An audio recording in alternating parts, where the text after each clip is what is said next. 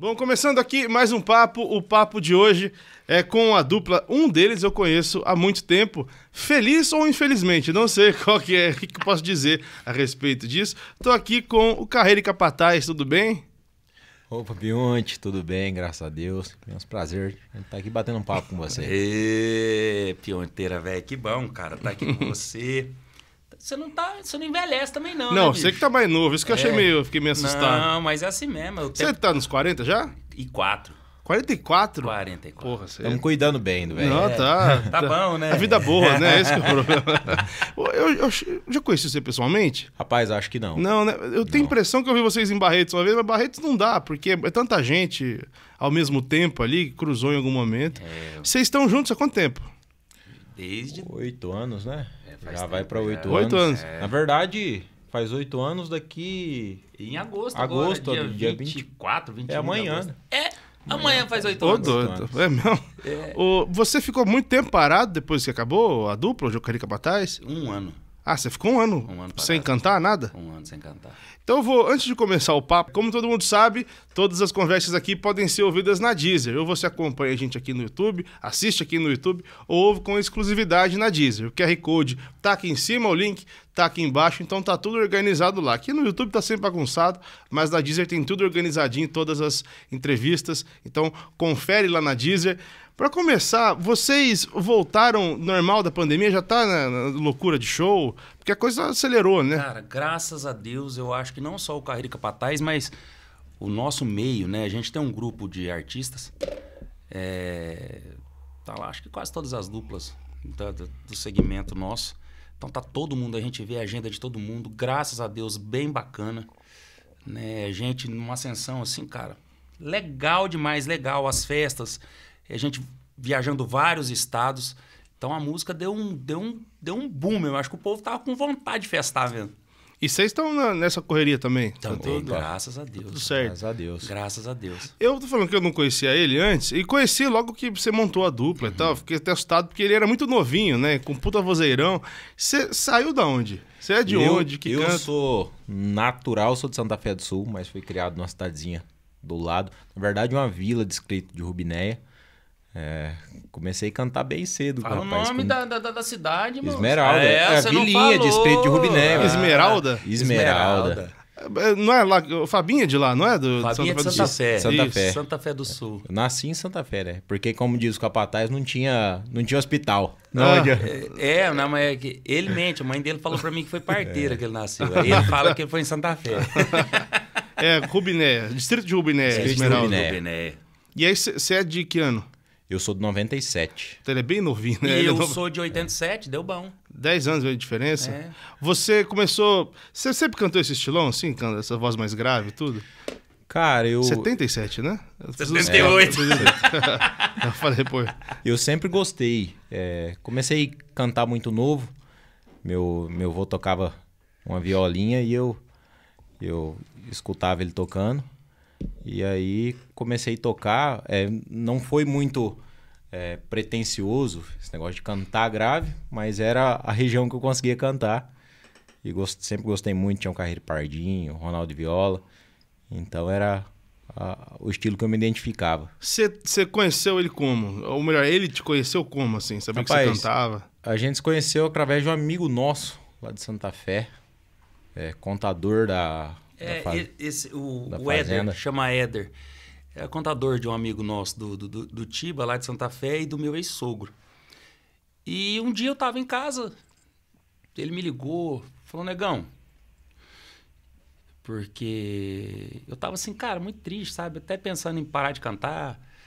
E aí, duas das pessoas que não que me colocaram pra cima, eu devo muito isso, já contei pros dois. Uma foi o Bruno, do Bruno Marrone, me ligou, ficou comigo mais de 40 minutos no telefone. Outro foi o Mato Grosso, do Mato Grosso Matias. Me ligou e falou: Ah, capa, tô no terceiro, velho. Não, aí me colocou pra cima.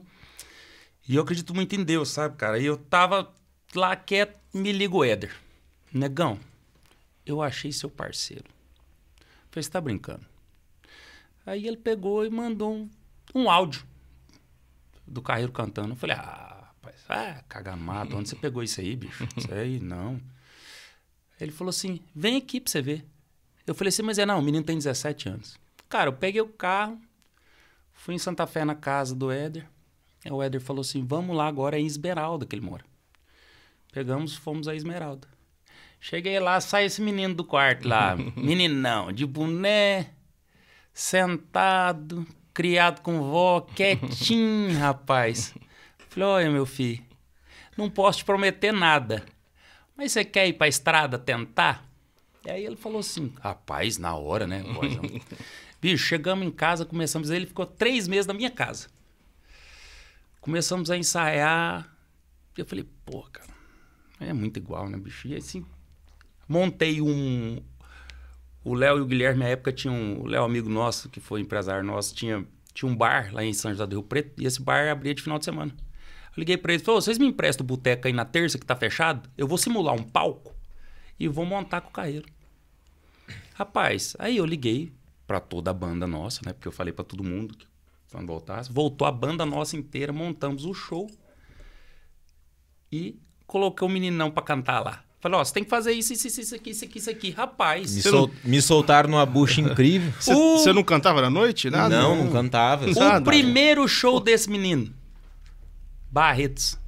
Rapaz, eu achei que ele ia tremer. Quem tremia era eu, porque eu falei, eu tava com medo por causa dele. Do que Rapaz, deu um baile, nasceu pra isso. Nasceu pra Já isso. chegou pronto, assim? Tipo, de, de, de, de voz em palco tal? Cara, ele, ele. Esse menino é bom demais, sabe? Ele é um cara estudioso. E, além dele ser autodidata, nunca fez aula, nunca fez nada, ele é teimoso. Então esse teimoso é, bom. Se você fala pra ele, tá errado. Estudioso isso- não, teimoso. Se isso aqui tá errado, aí ele vai ali e fala pra você, não tá. E ele vai lá e. Até, Até. explicar, Então né? é muito bom. Então é um menino que sabe, faz primeira, faz segunda, faz terça, então sabe cantar. Então fica fácil de cantar perto dele, né? Então eu comecei a cantar com ele, ele tinha tre- 17 anos. Na né, época então- que, que você juntou, é, tinha muito lance de ser muito parecido a voz com o do João. Tipo, Com o é igualzinho. Você pensou nisso? Tipo, você... Porque caiu no seu colo. Cara, na verdade, tá muito ele igual. depois que a gente começou a cantar, ele tinha um negócio junto dele que ele demorou mais de ano pra ele me contar. Eu e o João, nós fizemos um show em 2008 na cidade de Palmeira do Oeste. Aí ele pegou no aniversário dele, tá até no Instagram dele, ele postou uma ele me mostrou uma foto. Você lembra disso aqui? Falei, caralho, que porra é essa? Ele falou, sou eu, tinha 13 anos. Nossa. Aí, naquele de cara, me veio um negócio, porque o nosso produtor, à época, era o Neto, Sim. que é, que é o agenda hoje da Bruna Viola, do Bruno Barreto. O Neto chegou eu, e, caiu uma chuva, a gente começou a. A gente tava es- estourando, né? Caiu uma chuva, a gente teve que parar o show. E naquele dia, eu lembro que a gente tava com alguns amigos nossos de Fernandópolis e de Palmeiras Oeste. Nós não atendemos ninguém por causa da chuva, acabou com o nosso equipamento, tudo. E nós atendemos dois meninos. Porque o Neto chegou lá na frente e falou assim: a gente pode tirar uma foto com duas, dois meninos? E eu falei assim, não, na hora.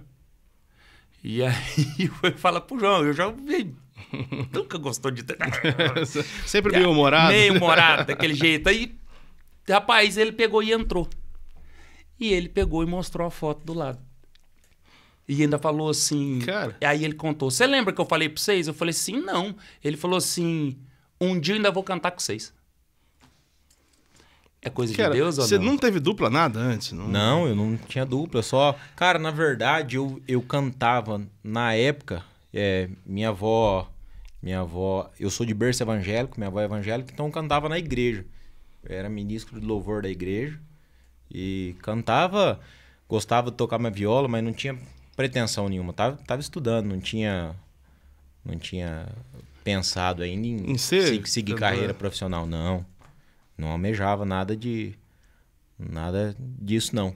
Tem um. Eu acho que precisa dar sorte também, né? Em alguns Cara, casos. eu acho que assim. Primeiro é Deus. Depois, talento, sorte. E o perim pim pim.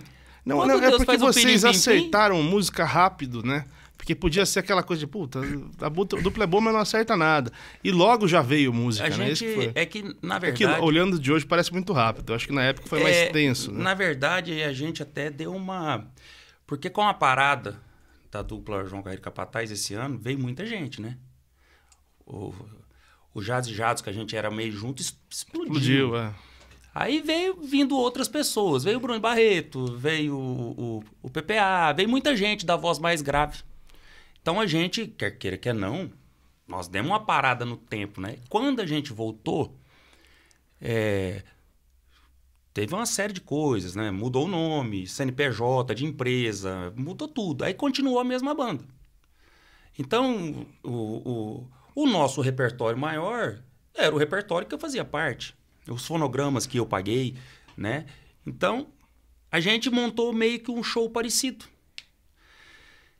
E para não ficar só naquilo, a gente buscou. E eu, cara, graças a Deus, eu, eu tenho muitos amigos na música. Então, liguei para todo mundo. Uma das primeiras músicas que a gente gravou, assim, de parceria, que foi. A primeira música mesmo foi uma, uma composição do Carreiro. É, na verdade, o, o, primeiro disco, aquele, aquele primeiro disco ainda mais brutos que, que a gente gravou, é, 90% das composições foram minhas. Gostava bastante de escrever. Você gostava da dupla? Aí, Você era fã da dupla? Demais, demais da conta. Demais da conta. Até por isso lembrava, porque o timbre parecia e o jeito. Porque ele se espelhava na as gente. Primeira, as primeiras músicas que eu comecei a cantar, por ser mais jovem, eu não, não tive de início tanto contato com, com o Tião Carreiro.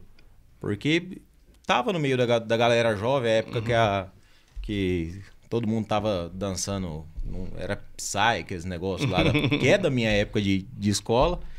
E eu gostava bastante de João Carreira Capataz. Psy ele tava na escola. Né? Ah, Jadson e Jadson. Pô, na época do Psy eu tinha 10 anos. Nossa senhora. Nós gravamos uma música também que rodou muito com o Marcos Bellucci. Né, uma dupla que a gente é fã demais. E até preocupação nossa era assim, porra, como nós vamos cantar perto do Marcos Bellucci, né, cara? Canta nossa. pra caralho, né? O, o Bellucci uma das vozes mais lindas. O dueto que o Marco faz é fora do normal. Eles são acima da média. Na, na verdade, né? tinha, tinha bastante é, assim, preocupações, né? Até quando eu comecei a cantar com, com o Capataz, é, eles tinham que andar com uma emancipação. Você acredita Porque eu era menor, então era tinha... Verdade, isso, eu era tinha, responsável dele. Tinha... Você era o pai dele, quase. Mas, Na... cara, você não sabe o tanto que eu falei assim, eu vou ser preso. Porque esse menino morava na cidadinha. Só via carneiro, cabrito, essas coisas. Foi pro mundo, você imagina. Eu vou, hoje ele tá casado, já é pai de família, né? Mas tem uma história uma vez, nós estamos num rodeio no Paraná. O nosso produtor era o Magrão. Aí o Magrão chegou, falou assim, negão, o prefeito tá vindo ali com o contratante, com a esposa, tudo beleza. Aí nisso entrou uma menina. Entrou uma menina Oi, posso tirar uma foto? Posso, posso. Filha, vem aqui do lado. Aí a menina chegou e ele, coitado, verdão. A menina falou, nossa, posso te dar um beijo? Ele falou, pode. A menina lau, pegou e deu um beijo na boca desse menino. E eu tô aqui, ô prefeito, tudo bem? O magrão tava na porta e falou assim, meu Deus do céu, chegou e grudou, meteu o dedo no meio da boca dele. não, é, não é possível. Aí na, aí na experiência é, é ah, cruel. E o pior, a cena do prefeito rindo e a mulher séria. Porque ela pensou assim, cara, o que, que é isso, né? E o pior de tudo, que a boca dele tava igual do Patati Patatá, porque ela tava com batom vermelho. que fase. E aí você teve que segurar o... É. E aí Rapaz, eram, na... eram coisas que... É. Na verdade, ele foi, era, foi amadurecendo. Tive o privilégio de aprender com um cara que... Sensacional, que o cara é muito correto, correto né? o cara é muito comportado. Nossa senhora. Ele só não, só não pode seguir muito a, a linguinha dele. Não, né? é, não, não, não, mas eu, como eu disse, rapaz, a gente vai ficando mais velho. Não é que a gente vai ficando mais bobo, não. A gente vai, ficando, a gente vai meio que pensando para falar as coisas. Antigamente eu não pensava. Nossa senhora, né? peguei a eu... fase bolha disso aí. Vixe Nossa. Maria, né? Juntava eu e o Léo, eu tomar uma e o João Velho. Não, não tinha meio, né? Mas era tudo certo. Aí, o que, qual que foi a primeira música de vocês que andou? Música própria mesmo? Cara, Coração Apaixonado, que foi a primeira música que a gente gravou. Foi uma música bem legal. Promessa, que, que até hoje é uma música que muita gente casou com essa música. É então tem. Ah, é? O povo em casamento? É. Mas marcam, vocês avisam? É. Pô, marcam sim. Marca, a gente. Qual que é a Coração Apaixonado? Pode cantar ah. um trechinho? Não tá fácil ficar sem você aqui. É tão difícil olhar ao meu lado, não te ver, te sentir. Uma dor forte no peito e uma vontade de chorar. Não sei se esse é meu defeito, essa vontade louca de te amar.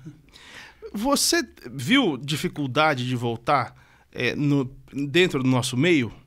Ou não? Você falou que voltou muito por apoio de artistas, assim, que te É, na ajudaram. verdade, é, ninguém acreditava, né? Não, Só isso quem- não é. Não. Não, não, é- não vou ser hipócrita, não. Só quem, quem acreditava no projeto era eu e o Léo. Léo, que era empresário do Carreiro Capataz e Isso, continuou com você. Continuou com a gente. O Léo, que eu e ele. Que eu falei, cara, eu não canto por dinheiro. Se eu cantasse só por dinheiro, eu realmente tinha parado. E eu sempre deixei claro pro Carreiro isso. Falei, cara, sucesso é consequência de um trabalho. Mas né? você sentiu que estava começando de novo? Não, não. Começando do zero, não. Nunca tive isso, porque a nossa história foi muito bonita, né? Nossa, a nossa carreira foi muito bem construída. É, e assim, sem pensar. Não, não teve um planejamento. Né? Nós éramos um time. Né? Então, tiveram várias pessoas envolvidas. E assim, não tinha aquele assim que fazer. Todo mundo fazia um pouco. Então, a nossa trajetória foi bem construída. Então, a nossa marca é, foi muito boa. Né? Assim, consolidada no Já mercado. deu uma grande base, né, pra, pra gente É, ué, e voltar. quando a é. gente começou, a gente não voltou do zero, não. Eu diria assim, 50%. É porque eh, a galera acaba não conhecendo os bastidores, mas tanto o João quanto você, quanto o Léo, era muito direto com vocês, né? Não era o artista muito distante das pessoas. Não, é então meio por- que todo mundo gostava de todo mundo ali, É, né? porque é que eu falo, a gente era um time, né? Então, não tinha assim eu, eu ou aquele. Não, era todo mundo tinha o, tinha o seu lado. É, pouca gente ficou naquela coisa, ah, eu fico com um, fico com o outro depois de separação. Não, teve- Todo mundo é meio. Foi meu amigo, assim. Não, teve. Isso é tranquilo, cara. Isso aí cada um, o sol nasceu para todo mundo, né? Todo mundo, o sol brilha. é. Quero que o João faça muito sucesso, desejo do coração mesmo, porque eu escutei um negócio que o Jades falou muito bom e é realmente aquilo. Né? Se fizer sucesso, fortalece o nosso segmento. Se a gente fizer sucesso, mais ainda, vai fortalecer se o Jades e Jades explodir cada vez mais. Puxa, né? Lógico que puxa, porque assim, cara, os fãs do nosso estilo, a gente não tá na, na, na, na, na- no- na grande fatia mesmo, não. O nosso público ele é fiel, né? Mas a gente tem que cada vez mais expandir, né? Porque assim, quem gosta da viola gosta. Quem não gosta, faz mais ou menos que gosta. Você é impressão, ou nessa formação aqui, nessa formação não, é outra dupla, mas você caiu mais pro romântico e menos pra viola, ou não? Você acha que é é a mesma Ah, linha? Cara, eu acho que foi mais pela, pelo Momento. momento, que É tava momento, é. vivendo, né? Pelo E, momento. E o romântico é uma coisa que a gente gosta bastante. É, é de nós- cantar. Nós gravamos um disco que até foi, foi, foi, uma, foi uma criação do Léo. É, o lado A e lado B, que a gente gravou primeiro. Depois a gente deu o segmento lado A e lado B, volume 2. Que esse projeto foi uma ideia do Léo. E a gente gravou também um disco. E, cara, ao meu ver, foi o disco mais top que eu, que eu gravei com o Carreiro. Não foi aquele que é numa, numa fazenda ali? Não, não, não sei se é uma fazenda. Não, Não, aquele lá verde, foi não. de volta às origens. É, aquilo lá foi Ah, um tá. vídeo, né? Esse outro foi um disco. Ah, foi disco. Que é, né? foi um disco mesmo que a gente gravou. Que, cara, tem um monte de moda assim que a gente gravou mesmo realmente que a gente gosta de ouvir. É, são, são só regravações mesmo, mas é. O, cara, o, o, o- o- o lado o B. O lado né? B. O lado, Lado A, A. quer dizer, o lado, Lado A. A. O lado A. São só são regravações. regravações. O lado B a gente gravou com, com, com um monte de gente boa. Com gente bacana. Não, eu sei. pô. Não, o lado A também. A gente É. teve participação no lado A do, do Zé Mulato Cassiano, do. João Mulato, João Gini Mulato, Geno. Gini Geno. Então foi. Gravou com a gente, foi um disco Zé Antônio. Divanei. Zé Antônio Divanei. Aí a gente. Você falou das primeiras músicas. Qual que é a primeira música que vocês acham que acerta mesmo? Que dá uma cara pra vocês? Tipo, você falou do Coração Apaixonado. Cara, eu acho que a música, assim, que deu uma. Que deu uma, uma cara pra gente foi Será que você tá bem? Então, porque eu tava esperando vocês chegarem nela. Porque assim, é- eu acho que é minha música preferida de Será que vocês você tá bem? desde sempre. E pra mim, pra e quem era um tá estilo de... diferente, né? É, pra gente quem tá de fora, acho que a dupla realmente falou: bom, agora tem uma dupla que é outra coisa. É, a gente... Acho que até caberia no repertório. É. Mas eu acho que pra mim ali marcou. Chegou... Essa música é de alguém, de algum de vocês, não? É nossa? É dos dois mesmo. É, e, e assim, essa. E do, juntamente com o João Vitor. João né? Vitor. Ah, inclusive, eu tava falando com o João Vitor hoje, a gente tava vendo, manda um abraço pro Nossa, faz tempo que eu não vejo ele, João cara. Vitor tá morando no Canadá, rapaz. Uai, Manda tá um mesmo? abraço, Tá, tá fora do país. Ah, não sabia. Ele era de Rio Preto ali, da região? Não, sou da região de Sorocaba. É de mas Sorocaba. morava em Rio Preto. Morava em ele Rio Preto, nasceu, é. é. Ele tava em Eu Rio lembro Preto. dele em Rio Preto. Rio Preto. Falei com ele, bruxão. Falou, manda um abraço pro Pium. Tá mexendo com música, não? Tá, ele, cara, ele, o, o João tá lá trabalhando, tá, como todo latino vai pra fora, né? Ele tá lá, faz de tudo. O João faz de tudo. É um cara batalhador. Mas ainda compõe. E agora compõe também em, em outras línguas. outras ele tá um línguas. cara Eu universal. vendo, tem uma música, cara, muito famosa. É dele, Ah, do- ferro e fogo não é. não, eu acho que é dele com o Bruno, do João Vitor. Não é quem diria do Daniel. Quem diria? Quem diria? É do João Vitor, É. né? Dele, é isso. dele. Bruno e. Ixi, que eu quero um perguntar pro Bruno por que, que ele não gravou essa música. tá certo que o Daniel tava explodido, mas eu falei, por que, que o Bruno não gravou? Nunca entendi. É do João Vitor, né? Cara, a- a- João é Vitor. porque às vezes até o, a própria pessoa que escreve, às vezes passa para o outro, porque às vezes acha que não encaixa. É. Nem aquela música do Israel Rodolfo, Do Israel mesmo que chegou Rodolfo. pra gente, cara, Casa Mobiliada. Ô, casa Ah, é? Aí chegou pra gente, a gente falou, ah, acho que não. Não... E a música Mas foi. meio que não combinava muito com a voz Cara, ali. né? É muito então é baixo, estilo, né? cara. É É. o fio de cabelo do Chitão. É. É do Marciano. É. Né? E assim, cara, tem música, tem o artista, né? Tem música que não. Tem que tocar. A, prime... a, a música de início, eu acho que ela tem que tocar o próprio artista que vai cantar. Ah, o fio de cabelo. O Valdeir Misael tava ensaiando no estúdio. Tá. Aí o Chitão passou e falou: Ô, você não quer essa música? Eu não, quero não. Aí falou: "Não, então me dá aqui, né? Foi assim. Aí, será que você tá bem? Veio como? Vocês sabiam? Ela foi pra rádio, não foi? Foi. Foi, música de rádio. Foi música de rádio. Mas na hora ali vocês sacaram que era, que era diferente ou. Cara, Cara, na, na verdade, não. Foi, ela, ela foi no meio do, do. Tanto é, acho que ela foi a terceira música nossa que a gente trabalhou na, na, na rádio. A gente escolheu o repertório, ficou um, um repertório bem legal. A gente. Aí o, o João chegou lá um dia, cara, eu tô com essa, com essa ideia aqui. A gente acabou ela, falou, cara, é muito boa. Era algo que tava diferente do repertório, né? Porque do de repertório. maneira era só ela. E aí a gente. Todo mundo. ah, Depois que a gente lançou o disco, as pessoas escutavam ela no disco Ah, e falavam, foi- cara, que música legal, cara. É uma música boa. A gente tava precisando da, de uma música mais animada. A gente vinha mesmo nessa essa vertente é, bem romântica. A gente falou, cara, eu acho que é, que é essa daqui que, que a gente pode apostar. Pô, canta um trechinho dela então. Porra, adoro essa música. Porra, demais. Será que você tá bem? Perdida na noitada com novos amigos. Será que não queria estar aqui comigo? Será que esqueceu dos meus carinhos? Será que você tá bem? Com sorriso na cara e chorando por dentro, mentindo pra si mesma os seus sentimentos. Só queria saber, será que você tá bem? Pô, eu não- eu- a gente nunca sabe as regiões, mas pra cá tocou muito, cara. tocou. Porra. Tocou. E assim, cara, a gente, por, por sermos uma dupla independente, né? Eu tenho 20 anos de carreira e nós sempre fomos independentes. Hoje a gente vive num mercado totalmente doido, né? E um mercado que o dinheiro você tem que. E a gente não, nós sempre fomos meio orgânico, sabe? Foi muito orgânico. Então, assim, sempre de regiões para regiões, a gente conseguia fazer os programas onde a gente conseguia entrar, sempre procurando mostrar as nossas músicas, cantar as nossas músicas, né? Então, é assim, quando a nossa música roda, ela é praticamente 100% orgânico. Então, isso que pra gente vale muito a pena. Vale, é gostoso. Quando chega aqui, fala assim pra você, porra, cara, aqui na região tocou. Tocou muito. Orgânico, então Ah, é- não era é tipo bacana. música de trabalho com investimento, é, não chegou? sem investimento. Não, é. Ah, achei que tivesse Sem sido. Não, nunca. Sem investimento. Rapaz, ainda até você falando assim da, da, da música chegar na pessoa. Cara, eu lembro que, que quando a gente foi, foi cantar, antes do, do primeiro show é, oficial em Barretos, a gente fez um esquenta, lembra? Que foi do Mijeca, Aham. lá em Barretos. E a gente tinha lançado Coração Apaixonado.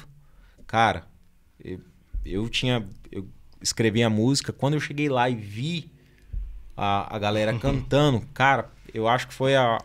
Até hoje é uma sensação indescritível. Aconteceu cara. tudo uma vez, né? Na cabeça Sei. dele, imagina? Cara, foi- era, era muito louco aquilo de. Eu pensava, falava, cara, eu im- imaginei uma música e, e, e as pessoas gostaram. Cara, esse mundo nosso, ele, o é- mundo do show business, ele é impressionante, né, cara? Ele é ímpar. Eu falo para as pessoas, é, fazer sucesso é muito difícil, muito. Permanecer no sucesso, cara, acho que é o trem mais difícil que vai existe. Mas você viver da arte, viver da música, é, é um prazer, é uma, é uma profissão ímpar que não tem.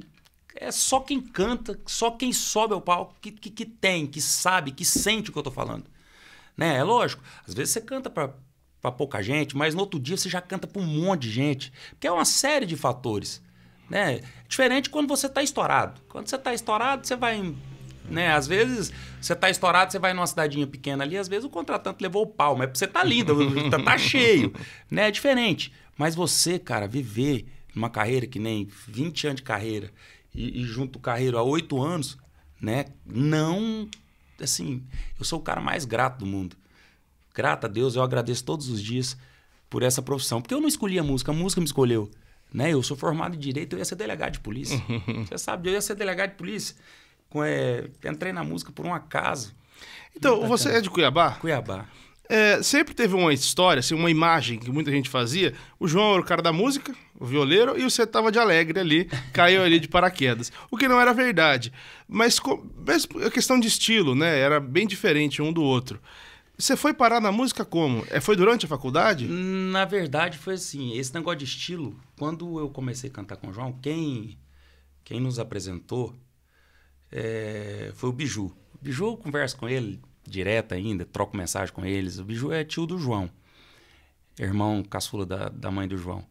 Ele que nos apresentou. Na, na época, eu tinha um serviço na, na, na prefeitura municipal uma das poucas vezes que eu trabalhei na minha vida. e o João tinha separado, eu acho que da segunda dupla dele. Ele teve três duplas né, com a minha, ele tinha separado. E o, o Biju chegou lá, cara, você gosta desse estilo de moda? Eu falei, cara, eu só escuto isso. Bicho, eu tenho um sobrinho que canta. Você não quer ir lá? Eu falei, cara, você tá louco, eu nunca cantei no microfone na vida. Ele falou, não, vamos lá. Eu falei, ah, vamos. Passamos no boteco, peguei uma caixinha de cerveja, chegamos lá na. Chegamos lá na. na, na chegamos na casa do João. Você estava na faculdade? Tava no, no, oitavo semestre de direito, tava para formar. Mas na faculdade eu tocava violão só de. Hum, tinha aprendido três, quatro notas para aprender aquilo ali, uhum. mal e porcamente. Até hoje, eu sou preguiçoso demais para tocar. E aí chegou lá no fundo, rapaz, da casa dele, assim, tava a mãe, o pai, a irmã, o caçulo dele e o João e o Magal. Na época era o Magal que tomava conta. O divulgador? É, hoje ele é divulgador. Na época ele foi o nosso primeiro empresário. Eu devo, devo né, ter um carinho imenso por ele. É, não tem como falar da nossa dupla sem falar também do Magal. É, aí, rapaz, tocamos ali, sei lá, eu, umas 10, 15 músicas, parecia que a gente se conhecia há 10 anos. Foi mais ou menos o que aconteceu comigo com o Carreiro. Quando a gente começou a cantar, ele sabia mais música nossa do que minha, porque eu, eu não lembrava mais as modas. Ele, você não lembra dessa? Eu falei, rapaz, não lembro. Ele falava, tocamos. Mas então, aí foi assim. Aí nós cantamos. Aí o João falou, cara, vamos montar uma dupla? Daí eu ri, cara, porque eu falei assim, bicho, eu nunca me vi cantando, mas vamos tentar. Aí nós pegamos uma. Tinha uma banda lá na época em Cuiabá, chamada Banda Fênix o nosso cachê custava 210 reais. Cada músico custava 70 cruzeiros. Lembra? Como se fosse hoje. Ensaiamos lá uma semana, subimos ao palco dia 4 de maio de 2002. Nós usávamos os dois, todo mundo. A gente era muito sertanejão, fivela, bota, pá. E subimos ao palco. Eu lembro, porque assim, eu sofro de uma ansiedade desde essa época, mas isso aí é coisa minha, cada um tem, cuida do jeito que quer, né? E assim, eu acho que tem que se tratar, eu me trato e não gosto de ficar falando muito disso, não. A hora que o João subiu no palco, eu cheguei no meio da, da, da escada falei assim, cara, eu não dou conta. Eu vou voltar, não vou voltar, vou voltar, não consigo. Ele começou a rir. Ele falou assim, filha da puta, sobe logo e ria, e ria. Eu falei, meu Deus, eu não tinha avisado ninguém da minha família. Você ia cantar? Ninguém. Ah, ninguém família. foi? Não, não foi o cacete, rapaz. o Magal avisou todo mundo. A hora que eu subi no palco, era abertura, eu lembro, era uma, um show que é, se chamava assim, Encontro de Gigantes. Era o Breno Reis e Marco Viola, que na época estava estourado no estado, e o João Haroldo Betinho, que estava estourado no Mato Grosso do Sul. Uhum. Então, cara, tava lotado, era na Crimate, era um negócio.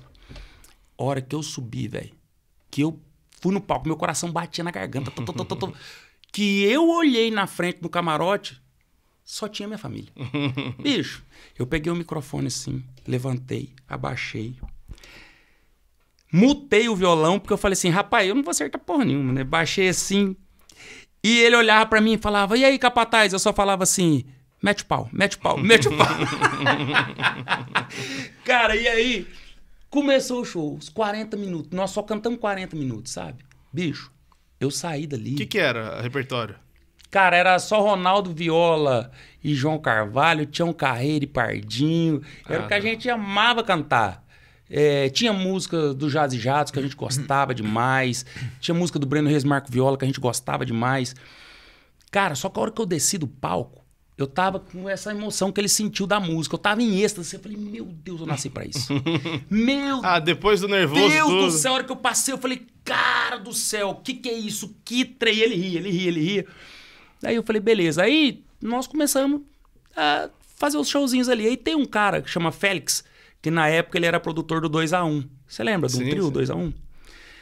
Ele chegou em mim e falou, cara, Qual que foi o 2x1 mesmo que estourou? Que é, a do Roda, fecha os olhos pra não Isso, ver isso. passar o tempo. Aí, esse Félix, eu lembro até hoje, era um show lá num, num outro lugar, chamava 24 Horas Country. Era, um, era uma festa que demorava um dia inteiro. E nós fomos cantar lá e ele pegou e falou assim: Cara, você tem que tirar o chapéu. Você tem que tirar o chapéu e tem que mudar.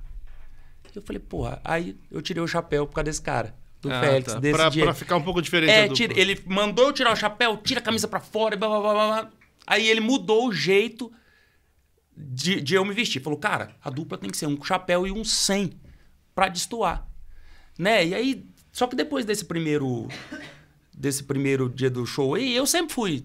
Eu não tenho personagem, bicho. Eu sou o capataz no palco e fora. Eu eu sou o negão, lá em cima e sou lá embaixo. Eu não tenho personagem. Então, esse jeito de falar, eu sempre fui comunicativo, né? Sempre, sempre baguncei, sempre dancei, sempre. Só esse primeiro show que eu não sabia o que eu ia fazer. Mas depois disso aí. Tanto que nós temos. um- Em 2003, nós fizemos um lançamento de um disco nosso. Que, rapaz. Eu. Esse até tem um- numa fitona, posso até te mandar isso aí. Depois eu fiquei olhando falei, rapaz, eu era desse jeito mesmo, desde o começo. Mas o Capataz era apelido ou foi por conta da dupla? Por conta da dupla. Cês- Vocês inventaram? Por Sim. conta da dupla. Rapaz, o pai do João que, que, que meio. Porque falou assim, cara, o que tem que associar com o João Carreiro é o Capataz. Cara, o pior é que foi uma boa escolha, porque E na verdade. marcou demais, Na né? verdade, na época eu queria colocar o meu sobrenome. Né? Eu queria colocar Como que é seu nome mesmo? Hilton César Serafim da Silva. Ah, Hilton, é. E eu queria colocar o meu sobrenome. Aí o Magal chegou em mim, conversou, conversou, conversou. Porque, cara, no começo era ruim. Hoje é normal, né? Hoje. Acostumou, né? Acostumou, né? É que nem esse Chitãozinho Chororó, dois nomes de passarinho. No começo devia ser esquisito. Eles Hoje não não. Hoje eles são ícones, né? São ídolos dos ídolos. Eles são demais. Então no começo foi. Era. Mas depois eu. Tanto que hoje eu não. Nem imaginou, Das porque- pessoas, ninguém quase me chama por, pelo meu nome, né? É Até só- de família, até. Ou é negão ou é capataz. Então, é, foi muito bacana. Você terminou a faculdade? Terminei. Mas já tava tocando na noite ou não? Tava, sim, tava, terminei. Mas, mas aí nunca, nunca, chegou- nunca, Hum, trabalhou com... com- Não. Na verdade, eu peguei raiva de advogar por causa da minha mãe. Minha mãe- a minha mãe é procuradora federal, ela aposentou e montou um escritório, foi mexer na área trabalhista. Na época, em Cuiabá, o fórum é, não tinha elevador, era um lugar, rapaz, você pensa, 40 graus, pra você andar de terno e gravata naquilo, carregando trem pra cima e pra baixo. Bicho, eu peguei uma raiva, falei, mãe, eu não dou conta disso. Eu não gostava muito de estudar, não. Achou um negócio mais legal pra fazer. Não, eu, eu, eu fui. Eu fui estagiário na Polícia Civil por três anos, cara. Eu Ah, você fez? Fiz, foi bem bacana. A ideia era ser delegado mesmo. Era. Nós, nós íamos fazer um show em Paranaíba, enchemos o rabo de pinga eu perdi a prova. tá, tá explicado. Ainda bem que a gente perdeu um, um delegado né, pra música. Vocês conheceram ali na região de Rio Preto? Você mudou pra lá por conta da carreira? É, Você saiu do, de Cuiabá? É, primeiro a nossa base foi para Campo Grande. Depois de Campo Grande, nós fomos Fazia sentido de Cuiabá pra Campo Grande na época? ali? É que Campo Grande tava, era o movimento, né? Não, é que na verdade o, o João começou a namorar com a menina e casou com a menina de Campo Grande. E aí, primeiro, ele foi pra lá, mudou. Então a gente, pra ficar mais perto, Porque a gente já tinha começado a cantar muito no Paraná. Né? Muito no Paraná, uma beirinha aqui pertinho de São Paulo ali, mas muito no Paraná. Então a nossa base foi para lá. Então eu saí, a, a, passagem era baratinha, tava na época cento e poucos reais, duzentos, que tinha um voo da, da, da Gol. Então eu vivia nessa ponte aérea de Cuiabá para Campo Grande. Aí depois a gente foi ver uma base, é, ou Berlândia, ou Ribeirão. E na época nós tínhamos um, muitos amigos em Rio Preto. E a gente cantava, já estava cantando muito numas, num, na, nas festas que a PBR e a Brahma, uhum. naquela época, eram. E o escritório da PBR era em Rio Preto, continua sendo em Rio Preto. É, tem uma base ali, né? É, e nós tínhamos um cara que era igual irmão nosso, que era o Turu, que era diretor da PBR, um dos diretores da PBR. E foi muito por conta dele que nós fomos para lá. Pra Rio Preto. Pra Rio Preto. Pô, e ficou a base importante e aí, aí, né? Rio Preto é o coração, né, cara, do, do, do serviço. Se você for pensar... Tem muita gente ali, né? Se você pensar, não, não tem. Tá numa região ali estratégica pra gente fazer show ali em 600 km quadrados, você vai pra todo lado. É, vocês andam bastante também, né? Tocava muito prudente, eu lembro disso também. Vixe tocava... Maria, canta muito. Aí, já juntos, a gente, pra voltar, fazer um corte aqui, a gente falou do Será que você tá bem? E depois vem o quê? Como é que foi o... Cara, depois de Será que você tá bem? Acho que veio a sábado à noite, não foi? Sábado à noite. com É, o Marcos essa eu lembro também. Com o Marcos Bellucci. Que essa andou bastante também, né? Andou bem. Foi muito pra rádio também. Andou bem, andou bem. É, o Marcos Bellucci estava estourado com o domingo de manhã, É. né? E aí, quando eu liguei pro Bellucci, falei, cara, nós temos uma moda aqui, você não quer? Ele falou, ô, capatinha, ele falou que na hora, pode mandar a moda aqui agora. Mostrou pro Marcos, falou, não. E, cara, a atenção daqueles dois com a gente. E era legal, São- porque era todo mundo próximo cara- antes São também. duas né? Depois- pessoas fora de série. é, filmaram eles gravando no estúdio, passando pra gente. Como que era a música? Era prefiro sábado à noite sua companhia do que uma balada com gente vazia. Mil vezes eu prefiro estar com você e se quer saber. Prefiro sábado à noite em sua companhia do que uma balada com gente vazia. Só de imaginar um instante eu arrepio e fica com você mil vezes eu prefiro. Pô, tem o quê? Sete anos já é isso? Cara, uns 6, 7 anos Seis, já. sete Porra, anos, passa muito moda. rápido. Eu lembro, eu tava fuçando no HD outro dia, eu achei a divulgação dessa música. Tinha a foto dos quatro ali. Falei, cara, Cara, faz tempo, né? E, cara, e quando o Belucci pôs a voz, que nós, nós vimos, falou assim, puta, Puta que pariu. que pariu. Ah, o Como que nós vamos o- soltar isso aqui, E a- cara? o, o Marco fazendo a Ah, o segunda. dueto do Pelo amor de Marco, Deus, né? é A impressionante. A, segunda musicalidade dos dois, dos dois. É, é, fora de série. vocês chegaram a gravar com o Matão? Gravamos. Porque vocês são próximos, não são? São, não. Sempre- ele não é de Rio Preto, mas o, o Rafa é O Rafa mora lá, o Matias mora é de lá. lá, né? O Matias mora lá, né? O, o, o, o Anísio, que é o primeiro Matias, é padrinho do Rafa, mora lá também. É muito louco essa história É, toda. né? Toda- cara, mas assim, é bacana demais, porque os dois têm história, cada um tem a gratidão pelo outro. Eu, eu falo isso porque eu, eu sou de dentro da casa. E o Matão, é, ele tem um carinho muito grande por nós, sabe? O Matão, o, o Mato Grosso, eu conheço o Mato Grosso antes de eu cantar. Porque a irmã do Mato Grosso mora em Cuiabá. Mora em Várzea Grande, na verdade, né? E, e o Matão sempre ia lá e... Bem, então a gente foi aprendendo, fui vendo aquilo ali. Era fã demais dele. E ele, assim, ele tem uma atenção com a gente fora do normal. Inclusive, vai estar com a gente no nosso DVD também. Ah, vai? Vai também, Então, vai. eu ia falar mais pra frente, mas vou aproveitar pra falar agora. O que, que vocês estão bolando aí de, de projeto? Tá todo mundo meio que, que retomando as coisas, né, pra esse ano, tentando entender. Mas vocês estão com o que A na gente- cabeça? Cara, a gente tá fazendo um negócio. é, nós, na verdade, a gente, nós tínhamos um planejamento para esse ano de 2022 é, que esse DVD já era para estar pronto, sabe? A gente estava numa conversa num escritório grande em São Paulo, teve alguns contratempos, então a gente acabou perdendo algum tempo. Então a gente meio que agora sentamos o carreiro, é, falei, cara, o que, que você acha da gente ligar pro Zé Renato? Né? E ele falou assim, porra do caralho. Liguei pro Zé, falei, Zé, só que a gente não tem tempo. Nós precisamos gravar esse DVD pra ontem. O Zé que sempre produziu O vocês? Zé Renato, né, que deu a roupagem nova pro João Carreiro Capataz, Uhum. na época, que in- inovou, colocou aquelas guitarreiras, que esse trem doido, foi tudo da cabeça do Zé. Então ele falou assim, cara, eu topo. Eu tô meio fora do mercado por ele depois que ele Ele tinha afastado, né? que ele se depois afastou, do- que ele saiu do filho do Mijé, que ele ficou quieto. E eu falei, porra, ele é um cara que é até um pecado ficar fora. Né? Ele é um puta no profissional. Ele topou.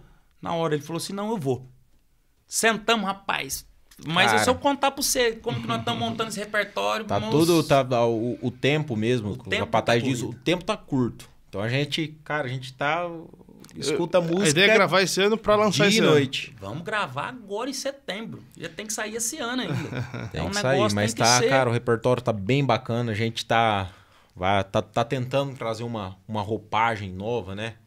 É, a- até porque a gente vinha gravando bastante coisa, o Zé sentou comigo e falou, cara, é, vamos ponderar um pouco. Falou, o Negão já é um cara com mais idade, falou, mas vamos, vamos tentar. Não, eu digo assim, não mais é tão idade... jovem, não é um É, moleque. não é- Mas tá velho. Já tá, ele Você já tá rodou entrando numa idade avançada já. Pô, cara, vamos tentar trazer um pouco também da, da, da- um pouco mais da, da- da sua idade, da Porque sua eu- essência. Não, aí porque o Zé é assim, né? Se falou sacanagem, o negão gosta. É. Dizer, Cara, "Se ele é impressionante. Toda música que fala algum palavrão, ele fala. Isso é boa, hein, Essa é boa." Essa Ele é é boa." eterno jovem. Ele- ele cara? gosta, cara. Sampaio. E as. Cara, a- eu não tenho. Eu tenho certeza disso. Ele, na espiritualidade, ele é muito mais jovem que eu. Mas ele Porque sempre é foi o jovenzão, né? Carro rebaixado e cavalo de pau até hoje. Ele sempre foi muito feliz, né, cara? É. E era engraçado, eu, pô, eu fui em muito show deles, assim. Ele sempre tava feliz. O João tem, tinha os dias dele lá. Mas eh, ele garantia ali, o atendimento. Não, ele tudo. é- Ele tava sempre feliz. Cara, ele tem que. Eu nunca vi um cara tentar igual ele, cara. eu também. Ô, é um dos que. Você ter noção, a gente vai no- no- nos motoristas da- das van que, que, que tá no show, cara, ele não deixa os caras em paz, cara. É fazendo piada com os caras, zoando todo mundo. É, eu, tenho, eu tenho histórias impublicáveis. Meu com- Deus do céu. Nas vans, o capataz. É, não, é absurdo. No, quando vocês começam a cantar junto, você percebeu que tava virando uma carreira, pô, conseguir voltar pro meio da música? Demorou muito tempo pra você se tocar assim? Porra, tá andando de novo. Como eu te disse assim, cara, ninguém acreditou na gente. Se a gente tivesse tido. O que, que eu senti? É, faltou um pouco de. Porque assim, cara, pegar uma segunda voz que dá certo de novo, né, cara, é foda. É, é inviável, né? Né? Então, assim, de- por isso que eu falo pra você, Deus foi muito bom com a gente. Deus foi, foi assim, eu tenho que louvar e agradecer todos os dias, como eu agradeço. É, nós não tivemos ajuda. Tipo assim, como que eu vou te dizer? De gente do meio. Que podia ter ajudado, mas eu entendo, sabe, cara? Eu entendo, eu entendo a, a desconfiança que gerou. Quando Aí eu comecei. é, A- a- até a própria, tipo assim, cara, ninguém acreditava muito. Então foi um negócio meio, meio sonhado. Eu mesmo, cara. A- a- às vezes a gente tinha até, até músicos que vinham É. de antes do João. Cara, os caras chegavam em mim e falavam assim, ó. E Dois assim, meses, viu? Só que aí eu tava muito tranquilo quanto a isso. Porque quando eu vi a qualidade do carreiro que ele tinha, falei, pô, moleque dessa idade, daqui uns dias vai se moldar. Cara, eu tava, te juro, eu tava muito tranquilo. Eu falei assim, como eu te disse, eu não canto por dinheiro. O dinheiro é consequência do trabalho. E Eu- quando vocês pararam, você já tinha feito uma vida boa ali, né? Cara, d- a gente.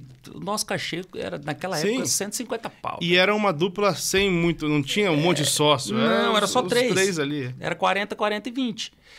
Mas aí o que eu digo assim, independente do dinheiro, quando a gente começou, eu falei, Carreiro, se a gente administrar bem isso aqui, a gente vive muito bem. Porque nós fizemos conta.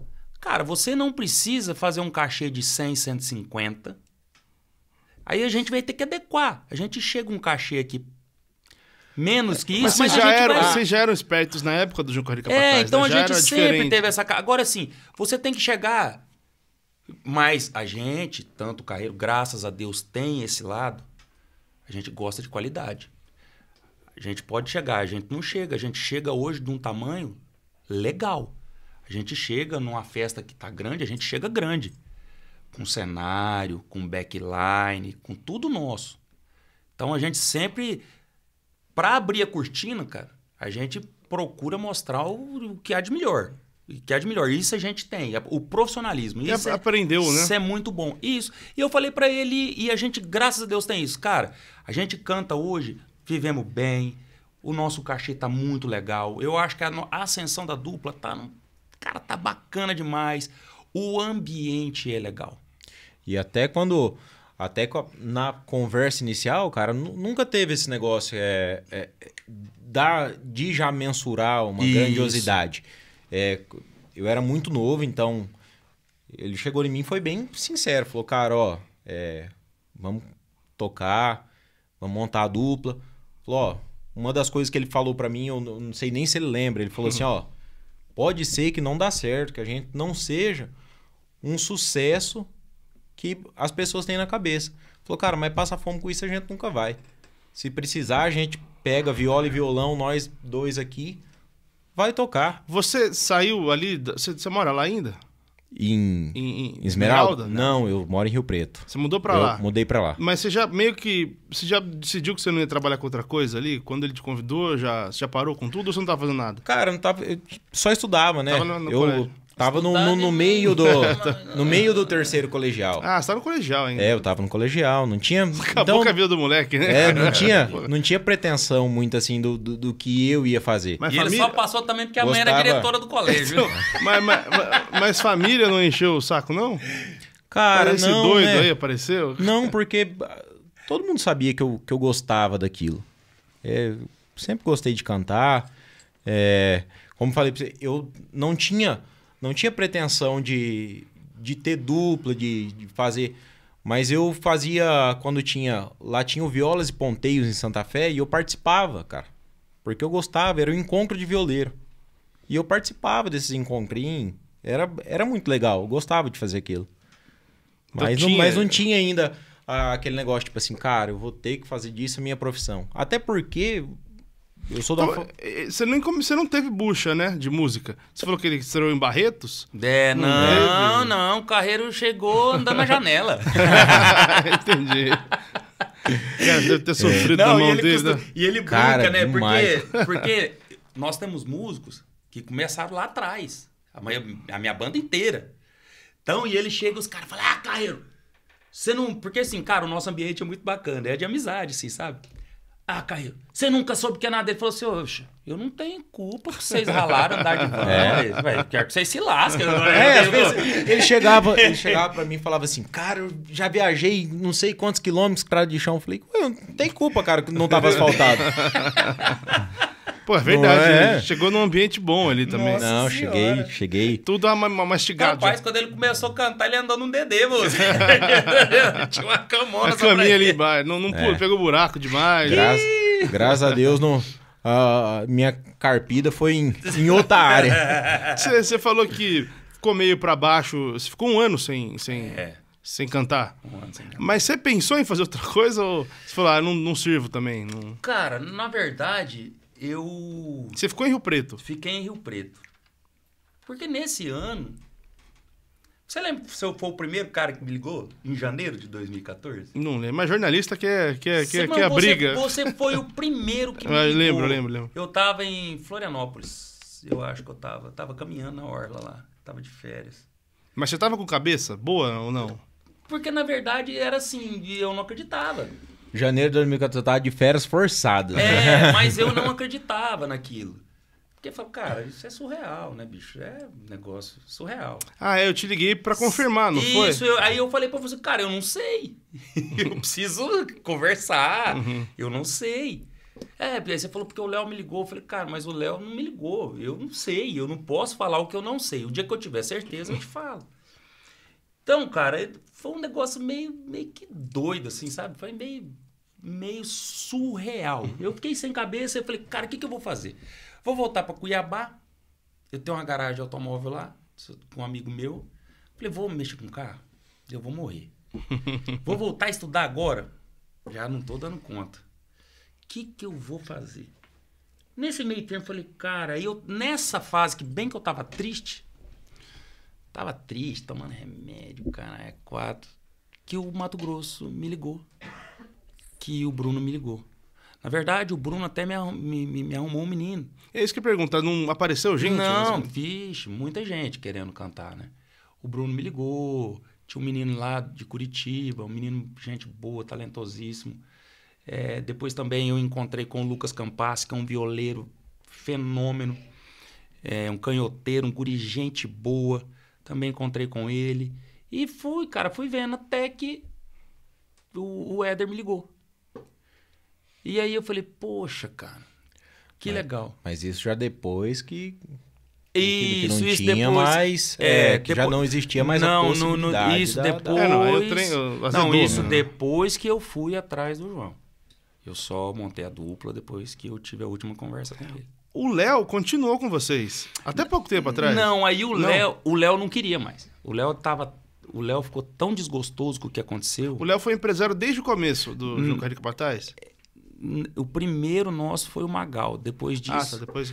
quem colocou o Léo, eu que coloquei o Léo foi até engraçado. Nós fomos fazer um show no interior do Mato Grosso. Acho que eu vou entrevistar o Léo um dia aqui, Tem, cara. tem Porque ele história. é bom de história. E assim, nós fomos fazer um. Um- ter que censurar tudo, nós fomos, fazer, nós fomos fazer um show em Nova Maringá. E na época a gente tava sem empresário. A gente já tava sem. Tava só eu e o João. E a gente que tava vendendo. Tá? A gente mentia o nome no telefone. que, é, o telefone era 9907-7000. Teve uma época que todos os telefones do nosso escritório eram 7000. A gente tinha um quê que é 7000. Tanto que até hoje o meu telefone é 7000 no final. Aí o Léo vendia camisa. O Léo vendia camisa. Até um primo meu apelidou ele de Léo Coste. Que eram umas Nossa camisas. Ele ia pro Braz, comprava umas camisas, chegava lá em Cuiabá, enfiava em todo mundo. E nós fomos fazer um show de viola e violão. E aí eu cheguei e falei pro João, ô João, vamos levar o Léo. O João, ah, tá louco? pai? Levar o Léo pra quê? Tá vendo que não tem dinheiro, a gente vai ter que comprar passagem, que a gente foi numa van de linha. Até na cidade os caras foram buscar a gente com a caminhonete. Aí eu falei, não, cara, o Léo vai comprar a passagem dele, não vão gastar com nada, não. Não, então vamos. Chegamos lá, cara, a gente já tava com o nosso disquinho, o primeiro disco que nós gravamos. Depois eu vou contar a história pra você desse disco, é bacana, como a gente gravou. É, E aí meu pai, meu finado pai, tinha uma mochilinha que eu tenho até hoje, essa mochila, uma mochilinha marrom assim, eu tinha lotado ela de CD. Tinha lotado ela de CD. E o show foi vendido por mil reais. O João que vendeu esse show, mil reais. Nós chegamos lá, fomos, era, era a inauguração de um secador de soja. Fomos lá, cara, fizemos umas modinhas de viola ali, papapá. Dali a gente ia pra um pesqueiro cantar nesse pesqueiro. Só viola e violão. Chegamos nesse pesqueiro, o Léo vendeu todos os nossos CDs. E a gente já tinha cantado lá uma hora e meia, uma hora e pouco, já não tinha mais o que cantar. Esse Léo correu lá no palco e ele chamava o João de Preto. Falou assim: Preto, põe a viola nas costas. Olhou pra mim, negão, viola nas costas, viola nas costas. E, e o João, na época, magrelinho, tudo, pôs a viola nas costas, tirou o boné. O Léo catou o chapéu dele, um chapéu preto da Pralana assim, saiu andando no meio do povo e com a viola. Tem tem nem eu que pá, pá, pá, rapaz. Aqui as bandas de fazendeiro ficou doido. E foi caindo lá 50, pá. No final das contas, o Léo fez mais mil reais. Só passando o chapéu ali. E nós fomos pro hotel. Chegamos no hotel, arrancamos, fora os mil que a gente foi contratado. E fora os CDs que tinham vendido todos. Todos os CDs, acabou. Beleza, fomos embora. Aí chegou lá na casa do João e o João que mexia com o dinheiro. Separando aqui, pá, pá, pá, pá, pá. Eu falei, João, vamos dar um dinheiro pro Léo, cara. Porque ele vendeu tudo. Ah, negão, pra que dar dinheiro pro Léo? O Léo vende as camisas dele. Eu falei, cara, o cara dobrou o nosso, nosso cachê. Ele é, né? É. Aí o Léo pode até confirmar pra você. Aí tinha um cheque predatado, eu acho que de 27 reais ou 35 reais, não lembro. O João pegou e me deu esse cheque pro Léo. Cara, esse Léo ficou puto. E ele não tinha nada a ver com a gente. Aí ele me ligou. Ô, negão, onde você tá? Eu falei assim, rapaz, tô aqui na rua, vem aqui em casa. Ele morava numa república, perto da faculdade que eu que estudava. Cheguei lá, tinha uma bacia no chão, assim, cheia de cerveja. Pode tomar aí. Deixa eu ligar pra aquele filho de uma puta do João. Ele ligou pro João. Ô, onde você tá? Vem aqui em casa tomar uma cerveja. Nós não gostava nada. Ele, não, tô indo aí. Chegou lá, ele falou assim, ó. Essa aí, ó, cerveja daquele cheque que você me deu predatado. Troquei ele hoje, depois de um mês. A cerveja tá aí pra você beber. Assim começou a parceria de vocês. Aí eu cheguei e falei assim, João, vamos colocar o Léo pra vender os nossos shows, cara. Ele falou, você tá louco, rapaz? O que, que tem a ver uma coisa com a outra? Eu falei, cara, eu não dou conta de vender. Você também não, não vamos ficar, ficar batendo cabeça. Ele falou assim, por sua conta e risco. falei assim, tá bom, vou colocar o Léo. Léo, você não quer vir vender o nosso show ser empresário? Ele falava assim, porra de empresário, rapaz, chama de empresário o quê? E aí ele falou assim, Léo, cara, vem tentar. E vendendo camisa. E vendendo camisa. Aí o Divanei, Léo, tenta. Aí falou, beleza. Começou. Montamos um escritorinho lá na Fernando Correia, na, na cidade em Cuiabá. Começou, cara. E foi, foi, foi, começou assim. Vocês não tiveram dinheiro para fazer sucesso, né? A dupla andou ou teve um investimento não, em algum cara, momento? A história do, do, do João Carreiro Capataz é assim. Como eu disse para você, nós éramos um time. O João Carreiro Capataz só existe, só existiu e só fez o sucesso que fez. Eu acho que tem muitas pessoas envolvidas. Dentre elas é um cara que não tem como não falar dele, que é o Divanei. Nós fizemos um show uma vez, isso tava só eu e o João não tinha, não tinha mais o, Magal já não tava mais, a gente tava sozinho. O, no paredão, isso, no, no, no interior, perto de Barra do Garça. O pai do João tem uma propriedade lá. Nós fizemos um show na carroceria, na, na, na, numa carretinha de um trator. Você já imaginou? Na carreta de um trator, trem, música e pau. Esse show nós ganhamos nove bezerras. Dessas nove bezerras, o pai do João pegou e ficou com as nove bezerras, vendeu uma, ele ficou. fez o dinheiro. Nós pegamos na época 13 mil reais. Eu tenho isso numa pastinha, tem um livrinho de ouro que meu pai fez, saía nos outros pedindo 100 reais, 50 reais. Aí nós fomos atrás de gravar um disco. Chegamos lá, era 27, 30, porra, falamos, ah, não vamos gravar. Aí eu fui no escritório do Divanei. O Divanei tem uma dupla que eles cantam por hobby, né? O Zé Antônio e Divanei, eles são dois empresários muito bem sucedidos, né? Os maiores empresários do Mato Grosso. Cantam por hobby. E o Divanei tem uma paixão que é a música. Chegamos lá no escritório, eu fui falar com o Zé. Falei, Zé, cara, o cara cobrou isso aqui pra gente pra gravar, nós não temos dinheiro. Ele falou, quanto vocês têm? Eu, eu não me lembro, não me recordo se eram 9 mil ou se era 13 mil. Eu acho que eram 13 mil. Aí ele falou assim: Não, consigo gravar isso. Não vamos conseguir. Pera aí. Divanei! O Divanei estava na outra sala, chamou o Divanei. Divanei pegou e falou assim: Ó, vou fazer o seguinte. Eu vou produzir o disco de vocês, vou dar de presente. Vou tocar viola, fazer o violão. Só que tem que ser no meu tempo. Eu tenho que sair do escritório e beleza, beleza. Na gravação do nosso disco, cara, o João não sabia cantar e eu não sabia cantar. Quem ensinou a gente a cantar foi o Divanei. Chegava lá, o João começava a cantar de um jeito, ele falava: não, não, não, não, não, não, não, tá igual o Marco Viola nisso, nisso, nisso, tá errado. Aí ia cantar: não, não, não, não, tá igual, Produziu. tá igual o Jadson, produtor. Aí eu não conseguia fazer a terça pra cima nem pra baixo. O Divanei me ensinou. Então não tem como você falar de João Carreiro Capataz sem o Divanei.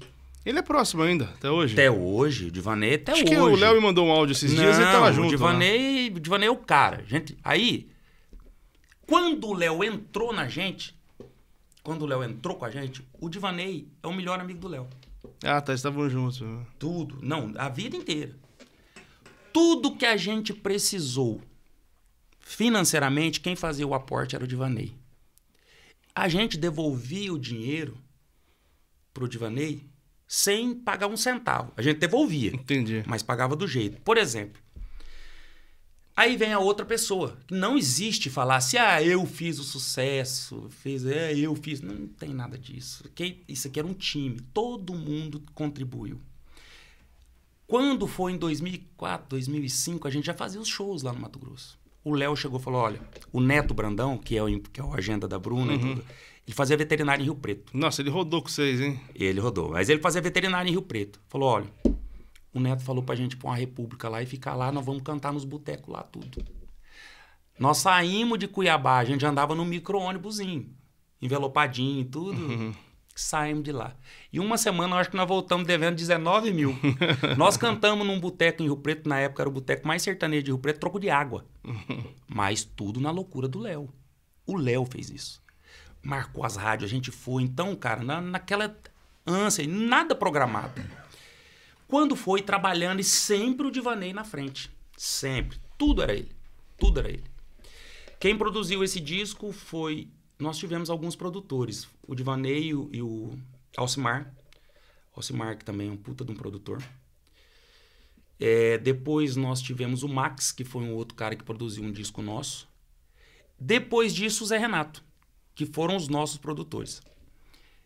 Quando a gente já, em 2009, nós gravamos, a gente estava começando a estourar, a gente nem sabia o que a gente valia. Uhum. A gente valia um cachê que a gente nem sabia. Naquela doideira lá, pá, precisava gravar um DVD, a gente fez uma parceria com um cara que tinha uma certa abertura na Rede Globo. A gente precisava gravar um DVD. O DVD gastou, nós, na época, foram 900 mil reais. Quem foi fazendo os aportes? O Divanei. Divanei. Cara, era caro, né? Hoje você resolve... Era o Divanei. Ah, precisa pagar 70 mil de um, de um negócio de som aqui, o Divanei. Pof. Foi. Quando nós. Rapaz, nós fizemos. Isso aí foi o primeiro DVD. Devolvemos dinheiro com dinheiro de show, mas devolvia como a gente podia. Então não tem como falar da gente sem esse é. cara, sem falar do Léo. Todo mundo tinha.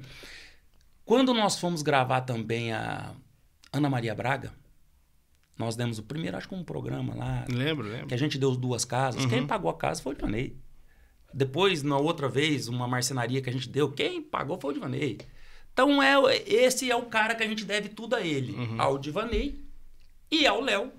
Então, o- pelas- o Léo o Léo ficou com vocês? Não, aí depois? depois o Léo, quando a gente. Quando terminou a dupla, o Léo não queria mais.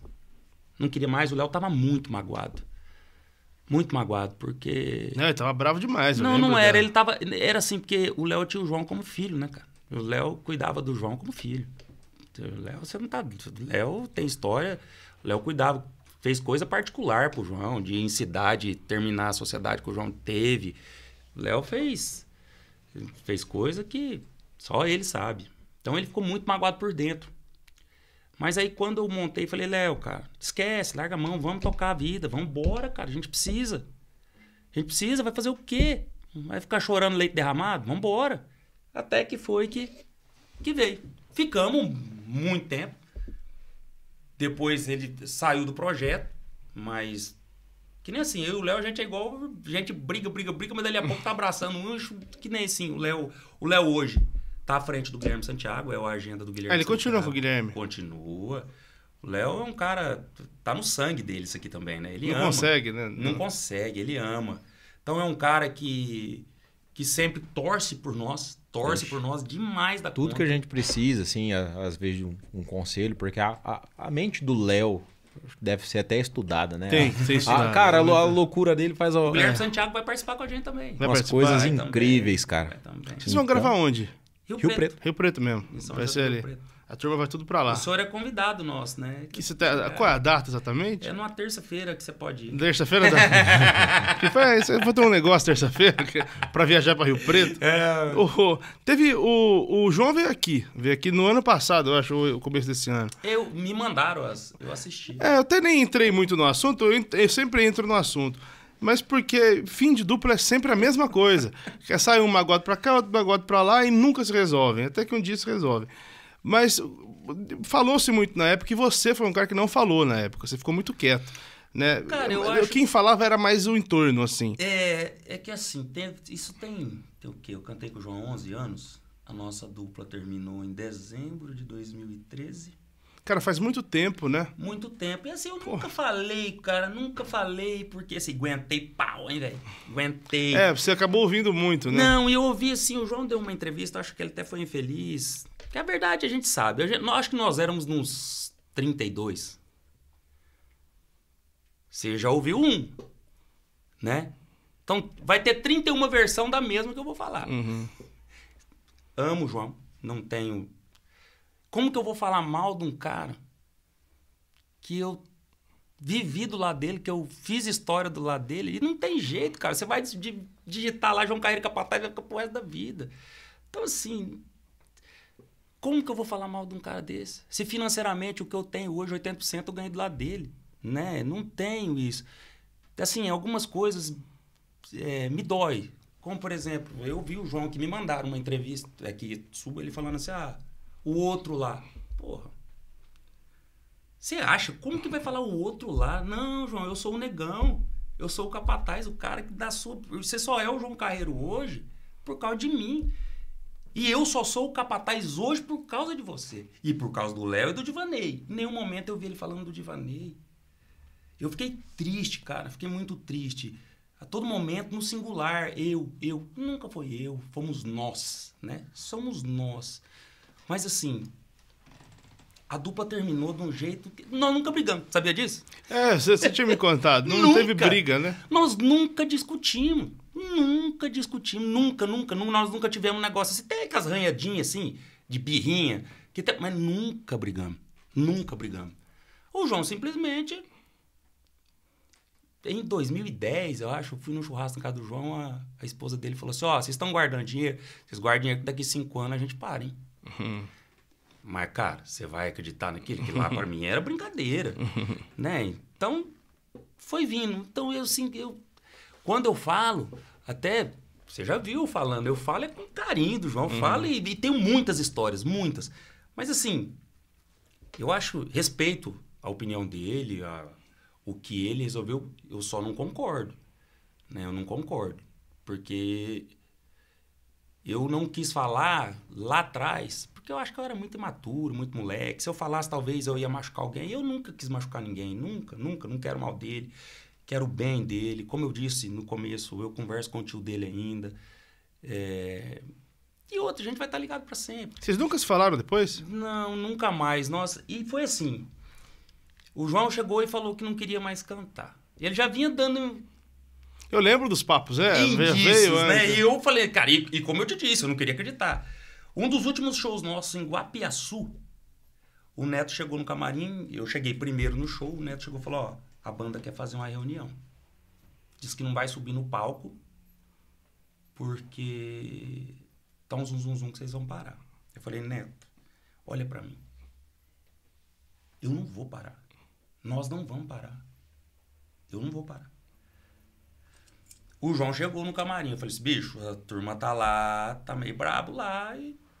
porque um zum zum zum de parar. Ele falou, quem que falou isso? Eu falei assim, bom, o Neto veio aqui. E estão lá querendo uma reunião, eu não vou participar. Porque eu já falei que não tem isso aí. E aí ele foi lá. Aí ele chegou lá e falou para todos os músicos. Inclusive, tem músicos até hoje desses comigo que não ia parar. Que isso era conversa fiada, que era para ficar quieto, que a gente ia diminuir os shows e adequar o valor. A gente ia fazer uma composição de cachês, né?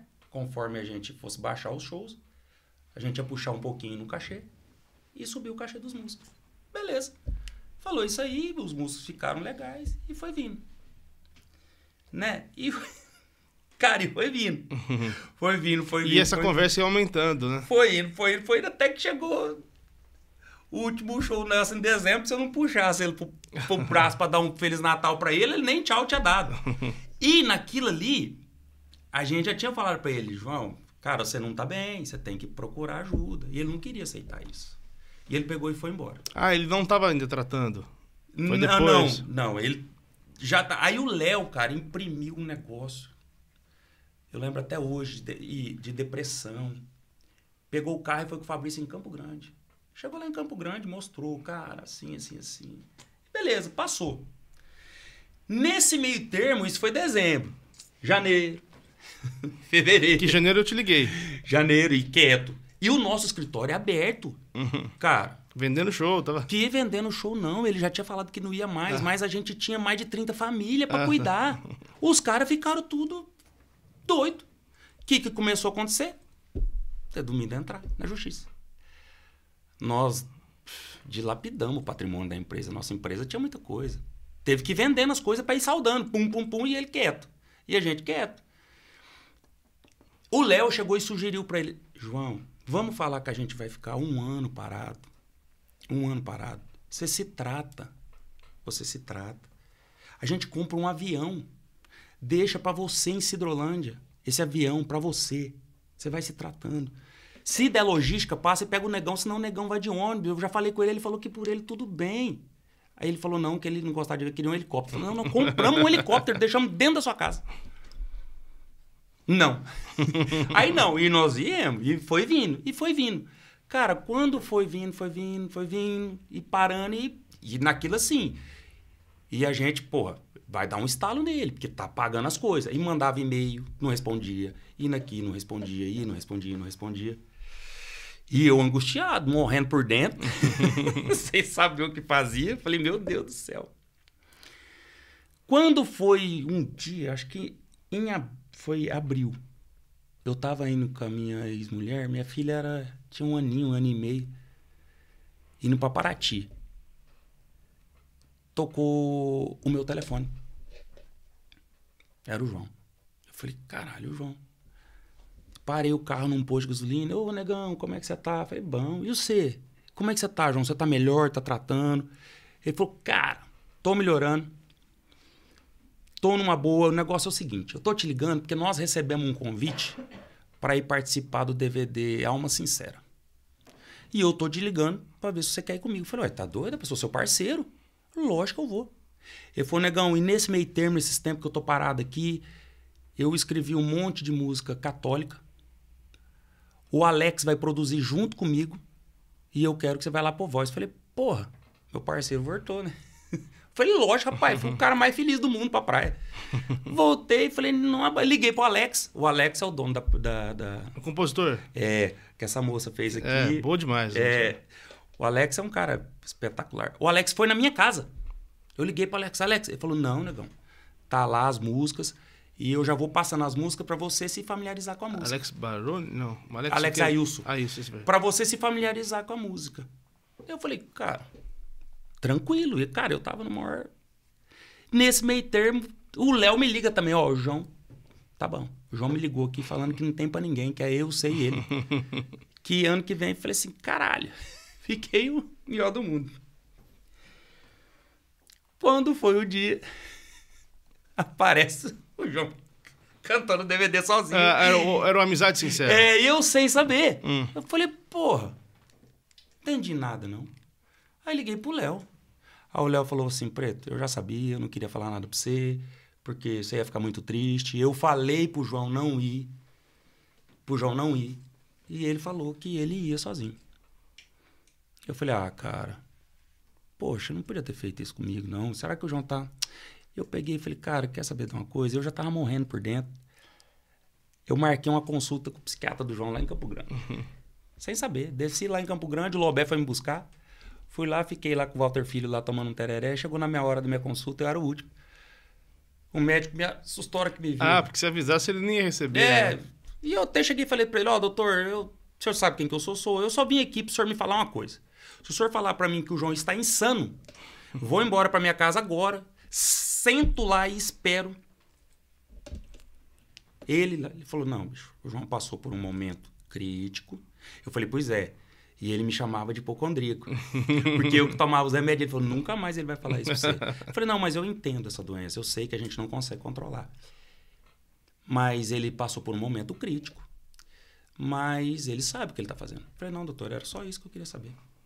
Aí eu contei a história do DVD, falei, poxa, ele foi lá, fez isso, eu, tá na hora do médico, falou, poxa, cara, eu, eu também falei que ele tinha que, que cantar, para ele dar uma espairecida. Falei, não, mas tudo bem, doutor, sem problema, tô indo embora. Saí da, da consulta, eu liguei pro João. Onde você tá? Ele falou assim, rapaz, onde você tá? Eu falei, tô em Campo Grande. Ele falou, Campo Grande? O que você tá fazendo aí? Eu falei, eu vim te ver. Ele falou, você vem me ver? Eu falei, vim, cara, nós precisamos conversar, João. Nós precisamos dar um, ver o que nós vamos fazer com a nossa vida. Ele falou, cara, eu tô em Maracaju. O meu sogro comprou uma fazenda aqui, eu tô vindo da fazenda com ele. Que é perto? É, perto. Aí eu falei, então faz o seguinte, eu tô indo pra Cidrolândia, fico naquele hotelzinho perto lá da fazenda do seu sogro lá, e a hora que você chegar. Aí ele falou assim, não, faz o seguinte, eu fui gravar o DVD lá, cara, e minha esposa perdeu os documentos da, Fala o seguinte, eu vou descer em, em, Eu não lembro se isso era numa segunda. Ele falou assim: eu vou para Rio Preto na quarta, quarta ou quinta-feira. Você lembra daquele disco que eu falei para você? Ele falou assim: lembro. Então, eu tô mexendo nele lá, eu vou descer lá. Em... Eu falei assim: então fala o seguinte: você desce no aeroporto, me liga e eu vou te buscar. Beleza? Ele falou assim: beleza. Chegou no dia, cara, eu do mais ansioso, né? Chegou no dia, não me ligou. Eu falei: puta merda, cara. E eu tava almoçando, cara com a minha ex-mulher assim. Falei, cara, não vai me ligar. Ela falou assim: ó, só tem você tem que ir atrás, né? Eu peguei e saí e fui lá no condomínio dele. Porque ele tinha mudado, mas tinha casa lá ainda. Cheguei lá, parei na porta do condomínio, era, um, o, o- era o Bigode, que era o, o porteiro. Falou, Bigode, bom, o João tá aí? Aqui, o capataz. Ô, capataz, você tá bom? Não, o João não tá aqui não, faz tempo. A casa dele tá, o mar tá alto lá. Falei, ué, bicho, mas ele falou que vinha. Falou, não, ele não veio não. Eu fui embora, triste. Falei, quer, vou lá no estúdio. Cheguei na frente do estúdio, cara, não tinha nenhum carro no estúdio. E é engraçado porque todo dia tem carro lá, os meninos tá lá. Falei, porra, não abriu o estúdio. Eu tava indo embora, me deu um estalo. Falei assim, dei ré, fui lá e toquei a campainha do estúdio. Aí o Pedro Neri, que é um dos donos, atendeu. Oi, quem é? Eu falei, sou eu, o dono do estúdio. Eu costumo brincar, ele falou assim, quem? Falou, negão. Negão? Falou, negão, aí. Negão? Eu falei, eu, doido? Cara, ele foi lá me abrir, ele tava da cor desse papelinho aí, branco, o neto. O, o, o neto não, o Pedro. O Pedro. Tá da cor desse papel, branco. E, e- e gaguejando, eu falei assim, uai, Pedro, calma, cara, você viu um fantasma? Eu falei assim, e aí, meu parceiro tá aí? Ele falou, João, eu falei, é, ué, só tem ele. E aí, tá lá no fundo, tá pitando um paeiro. Eu falei, ô, beleza, entrei. E o estúdio, assim, você entra a porta, tem uma porta do banheiro e as duas portas da sala. E eu fui lá no fundo do estúdio, chega lá no fundo do estúdio, tinha um paeiro dele de cima, assim, um cigarro. Eu voltei lá pra frente, falei assim, pô, o João não tá, só tá o paeiro lá. Falou, oi, mas ele tava lá. Aí eu falei assim, ah, bicho, mas então ele saiu, a caminhonete dele não tá aí. Ele falou assim, não, negão, nós viemos todo mundo de táxi. Eu falei, de táxi? é, o João pediu pra gente vir todo mundo de táxi. Eu falei, ah, tá. Eu falei assim, bicho, eu, eu tenho que conversar com o João, eu não vou embora enquanto... eu sentei e o, e o Neto, que é o irmão dele, tava afinando um- as vozes do João lá dentro. Eu falei, caralho, o João montou tá dupla. Porque tava as duas vozes, sabe? Aham. Eu falei, porra, o João montou tá dupla, não falou nada. E eu falei, não, eu vou ficar quieto. Cara, ele tava dentro do banheiro. Eu acho que ele tava esperando eu ir embora. Eu falei, não vou embora sem conversar com ele. Aí ficou uns 10 minutos, ele saiu da- de lá do banheiro. Aí ele olhou assim, ô jovem. Eu falei, e aí, velho? Aí ele, ele me puxou, me deu um abraço, me deu um beijo. Aí ele falou, vamos lá no fundo pra nós conversar. Aí nós fomos pro fundo do estúdio. Chegou lá no fundo do estúdio, cara, eu nunca contei. Isso acontece, sabe quem sabe isso aí? É quem é de dentro, quem é do meio. É, foi o negócio mais triste que eu já ouvi na minha vida, sabe, cara? Eu fiquei sem chão na hora. Ele não conseguia olhar pra mim, ele olhava pra baixo. E eu não sei se é por conta, ele balançava a perna. Ele falou: É, eu resolvi seguir carreira solo. Eu falei: João, cara, era só você ter me falado isso lá atrás. Eu, nossa dupla é igual marido e mulher. Um não quer, como que vai dar certo? Mas você tinha que ter falado. Ele, então, é, mas é que eu resolvi, eu conversei muito com o meu médico e com a minha família. Eu preciso me libertar das escoras que é você e o Léo. cara, meu irmão, que cara é igual meu irmão mesmo, bicho. Gente dormiu na mesma cama, de solteiro, sozinho. Falar isso que eu era uma escora. Rapaz, aquilo lá me deixou triste, sabe? Muito triste mesmo. Eu fiquei sem chão. É, é, eu fico até meio. Porque é verdade mesmo, assim. É. Aí eu saí lá de fundo assim. Fui dentro da sala. Ele falou assim: que vem aqui pra você ver, escutar aquela música. E assim, era o disco que ele tinha falado pra eu pôr a voz, sabe? Aí eu fui lá dentro na hora, eu escutei, só que eu tava. Eu fiquei tão desnorteado que eu falei assim, João, eu preciso levar minha filha na escola, que a minha filhinha tinha entrado na escola com um ano e meio mesmo. Eu falei, eu preciso levar minha filhinha na escola, depois eu volto aqui. Eu saí, eu, cara, eu tava tão, assim, tão voado que eu liguei na hora, assim, liguei pro Léo, falei, Léo, a dupla João Carreiro Capataz acabou de acabar. Ele falou, o que que foi, negão? Falei, o João tá aqui no estúdio, cara. E ele falou que eu e você nós somos a escora da vida dele. Que ele precisa se libertar da gente. Léo falou, como é que é? Eu desliguei o telefone fui embora meio... O Léo correu lá. Ele falou a mesma coisa pro Léo. Aí o Léo me ligou e falou, cara, toca a sua vida. Vamos só dar um jeito de ver como que vai ficar as contas. E, cara, aí a gente foi vindo. Aí, mas assim, eu é muitos anos, né, isso aí, né, cara? Eu não... E outra coisa, foi o que eu te falei, eu não quero mal do João, assim como... Fiquei triste dele falar que ele não quer contato comigo. Espero que ele possa mudar isso um dia, porque a gente tem uma história. Eu gosto dele. Né? Como eu te disse, eu respeito o lado dele. Mas não concordo. Mas, vida que segue. Né? Ele é pai de família. Na época, ele deu uma entrevista.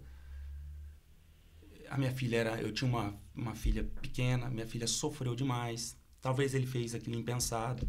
Hoje minha filha já tá uma mulher com 20 anos. Então, assim, do fundo do meu coração mesmo, eu acho que. Quem sabe um dia a gente não pode sentar e tomar uma cerveja e rir junto, né? E tipo assim, se, eu, se ele tem mágoa de mim com alguma coisa que eu, como eu te falei, e eu tenho certeza que ele vai falar para todo mundo, nós nunca brigamos. Nunca brigamos. Nunca.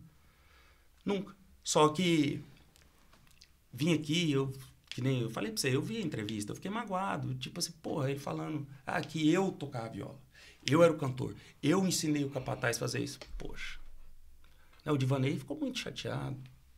Como que não fala do Divanei na nossa vida? Como que não fala do Léo? Como que não fala do seu Casarim, que é um outro empresário lá que bancou a gente um ano, dando um salarinho pra gente, porque a gente tinha que ensaiar. Poxa, nós temos uma história. Ninguém foi bom sozinho. A gente era um time. E era um puta de um time. Né? Não deu certo. Quer dizer, deu muito certo. Deu 11 anos certo. Não, deu muito certo. Deu e muito certo. influ- influenciou uma geração, né?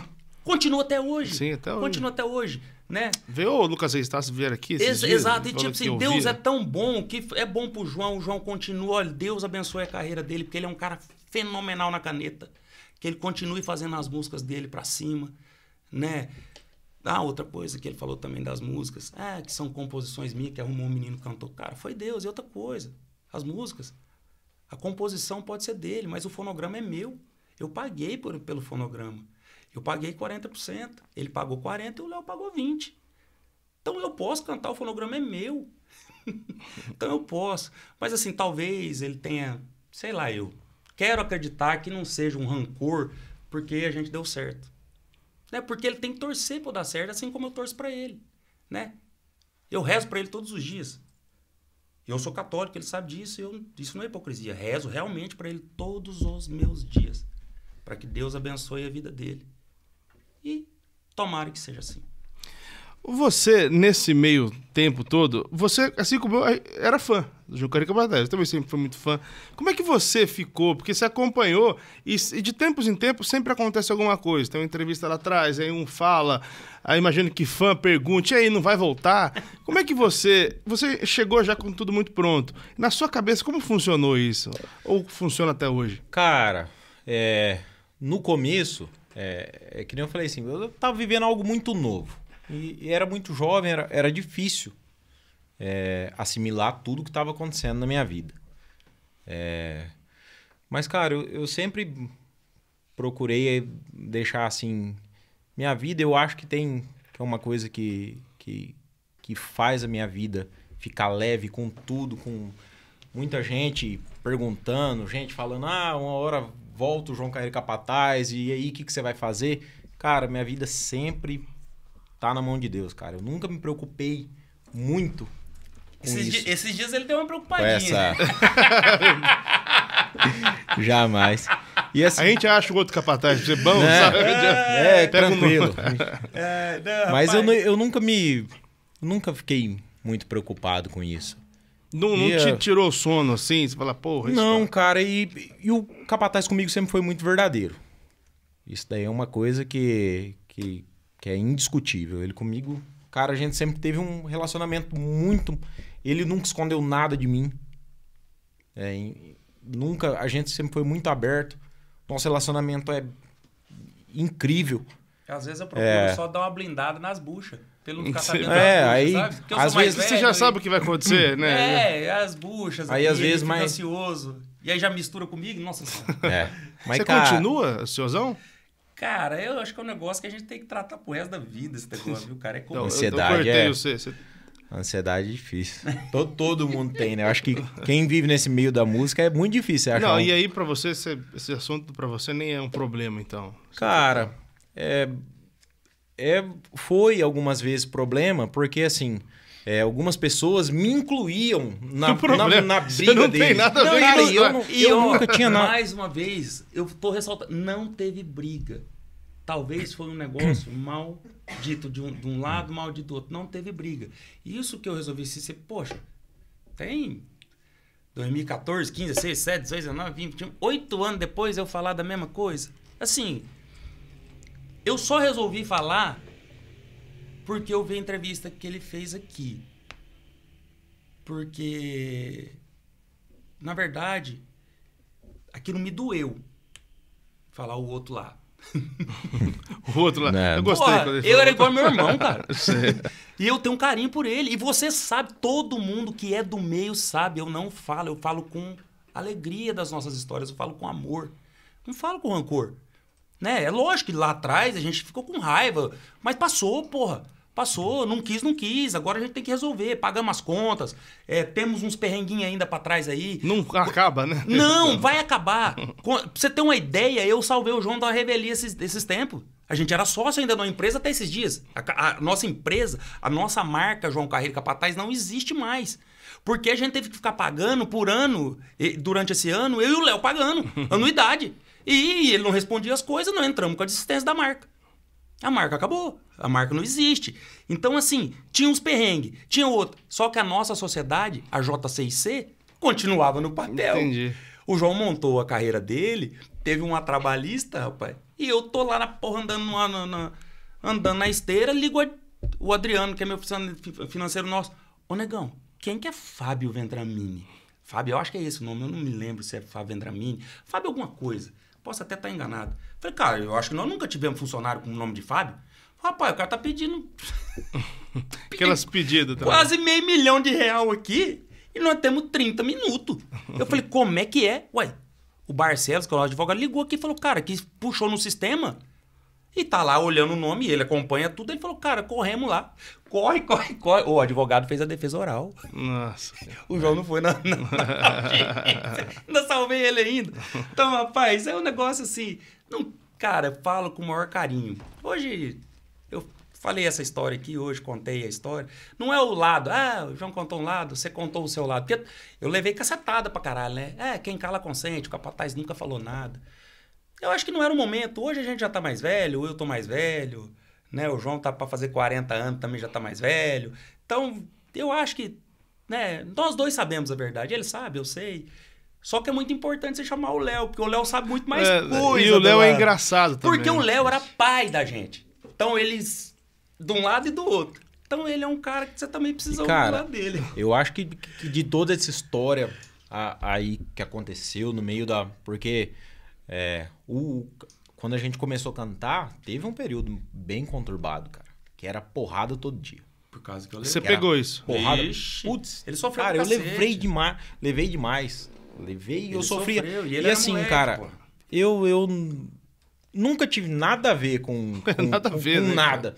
Eu, como você disse, eu era um fã. Aí depois começaram. Eram umas comparações é, meia inexistentes. Porque fala assim, ah, cara, é, tá cantando com o menino que a voz parece. Cara, a gente tem inúmeras duplas no Brasil Não, que e as é a vozes se assemelham. voz, né? Também. que- É, você. Cara, eu. É, é aquilo que eu. Era só o que eu sabia fazer. O que eu cantava. Eu não cantava, tipo, ah, nunca foi imposto pra mim, ó, você tem que cantar pra parecer com o João, pra gente seguir a mesma coisa. Não. Eu só Cara, cantava. Eu nunca quis nada, nenhum tipo de briga. Tanto que quando a gente foi montar a dupla, a gente podia ter usado o João Carreiro Capataz. Porque a marca João Carreiro Capataz era da empresa. Uhum. Os donos da empresa. É o único bem que a empresa tinha que sobrou na época. Era o nome. Era o nome. E aí vendeu tudo, acabou com tudo. A dupla não existe. Qual que era o valor do nome? Zero. Não dá valor, só dava despesa. Aí a gente tinha 60%. Que Você e o Léo, né? eu e o Léo. E aí nós sentamos, cara, bicho, ninguém quer briga. é, olha, deixa o João seguir a vida dele, vamos tentar a nossa vida de cá. Né? E montamos a dupla. Conseguimos registrar a marca, tudo certinho, tudo tranquilo. Então, assim, pra nunca ter, ah, tipo, você ah, pegou um nome, rouba. Nunca teve isso, né? Porque que nem os outros falam, cara, nós colocamos um nome que parecia, porque se o Tião Carreiro tá vivo, eu não ia poder cantar com o Tião Carreiro? Sim. O Peão Carreiro, É, eu não, não é, ia poder? É, Ah, então, é- Ainda mais mas é um nome. É, é que eu acho que, assim, o- a internet, ela é meio cruel, né? Não, as nem- pessoas, não pode ler. as pessoas às vezes julgam sua índole, julga, É. tiram a história da cabeça e coloca lá e, e outras pessoas seguem. Cara, eu uma das coisas que me machucava demais, porque eu também, como ele nunca ele nunca se pronunciou naquela época, a gente optou por falar, cara, vamos aguentar a porrada quieto. Então, mesmo era difícil pra mim ver, tipo assim, às vezes pessoas falavam coisa de mim e não era eu não me manifestava, mas eu via meu irmão lá com 10 anos indo lá, tipo, cara, Brigar. debater com coisa porque assim, não era verdade. E ele sabia da verdade. E ele fala, cara, você vai falar, cara, larga essa Era porra era lá." era mas graças a Deus é um- uma coisa que passou hoje em dia é totalmente tranquilo. Eu acho que também o, o amadurecimento é, é, acho que foi dando um, um pouquinho uma distanciada, até porque questão de composição, o João tem uma genialidade, uma genialidade incrível com um tipo de composições. A minha cabeça é, tem um, um outro modelo de É outra composição que geração, não né? dá para É. ser, não dá para ser igual, né? É, então não tem esse negócio de ah, copiar, cara. A gente foi fui fazendo minhas músicas, a gente foi cantando do nosso jeito. Eu fui aperfeiçoando meu jeito de cantar, é, buscando outras referências. Então acho que Ganhou, nada melhor ganhou que o logo tempo, a cara, né? É, e É. a música ganhou. ganhou.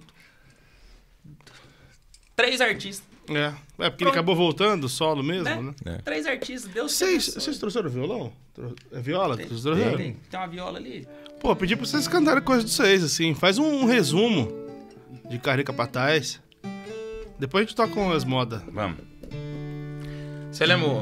o- Então vai. Qual? Vai só com o cacete aí, que você cantar aí, eu canto aqui. Será que você tá bem? Acho que legal. Já mudou até a cor dos seus cabelos. Tá entre nossas preferidas aqui em casa. A gente ouviu tanto essa música, cara. Será que você Puta. tá bem? E, e é engraçado que quando você pega uma frasezinha, ela resolveu a música, né? Ó, ó essa moda Ela é aqui. muito- O Carreiro fez ela com o quê? 16, 17 anos? 16. Ó. Sei que não é fácil esconder. Sempre dou uma olhada, o cara canta muito grave, eu fico olhando aqui, né? Vai dar... Dá uma. É, eu dou uma Pra ver se não reduzida. vai dar uma clipada. Aquela estouradinha ali. Pra você, é, se- é mais fácil. Você acostumou sempre a cantar com voz grave, assim. É mais confortável pra Quando eu, você? a prime... assim, eu tinha 17 anos. Eu dei umas arranhadas com os amigos do meu pai, do meu finado pai. Com o Valdir, com o Edson. Era, eram, eram, eram vizinhos da minha avó. E eu cantava muito Milionários é Rico. Eu- a maioria das modas era Milio- Milionários é Rico. Só que 20 anos cantando desse jeito cara, hoje eu não consigo mais chegar no Entendi. tom que eu cantava. Mais confortável não é, né? Que você fazer uma segunda e a altura, Não. que é uma terça, é. E não, era assim, não, eu fazia no começo era a primeirinha que eu fazia, os caras faziam a segunda, né? E depois era a primeira mesmo. Então hoje eu não consigo, é, eu apanho hoje às vezes pra Mas cantar ele, moda. ele. No show, pus ele pra cantar a Filha da primeira puta. voz. Ah, é? Não, faz a gente aqui. faz no meio do show uma parte do boteco. Aí ele, ele se Rapaz, consagra, é- né? Não, moço, eu fiquei com raiva dele. No começo ele falava canto, eu falei, não, moço, vamos mudar essa música aí. O cara pondo eu pra sofrer. Quando eu, até quando eu falei pra ele, falei, cara, vamos pegar umas músicas, cantar de primeira e segunda. Não, você tá louco, cara, vai fugir do nosso. Falei, não, vamos tentar. Aí, cara, fui colocando. Aí ele começou a cantar meio longe. Ele tinha uma, uma timidez meia com cantar de primeira.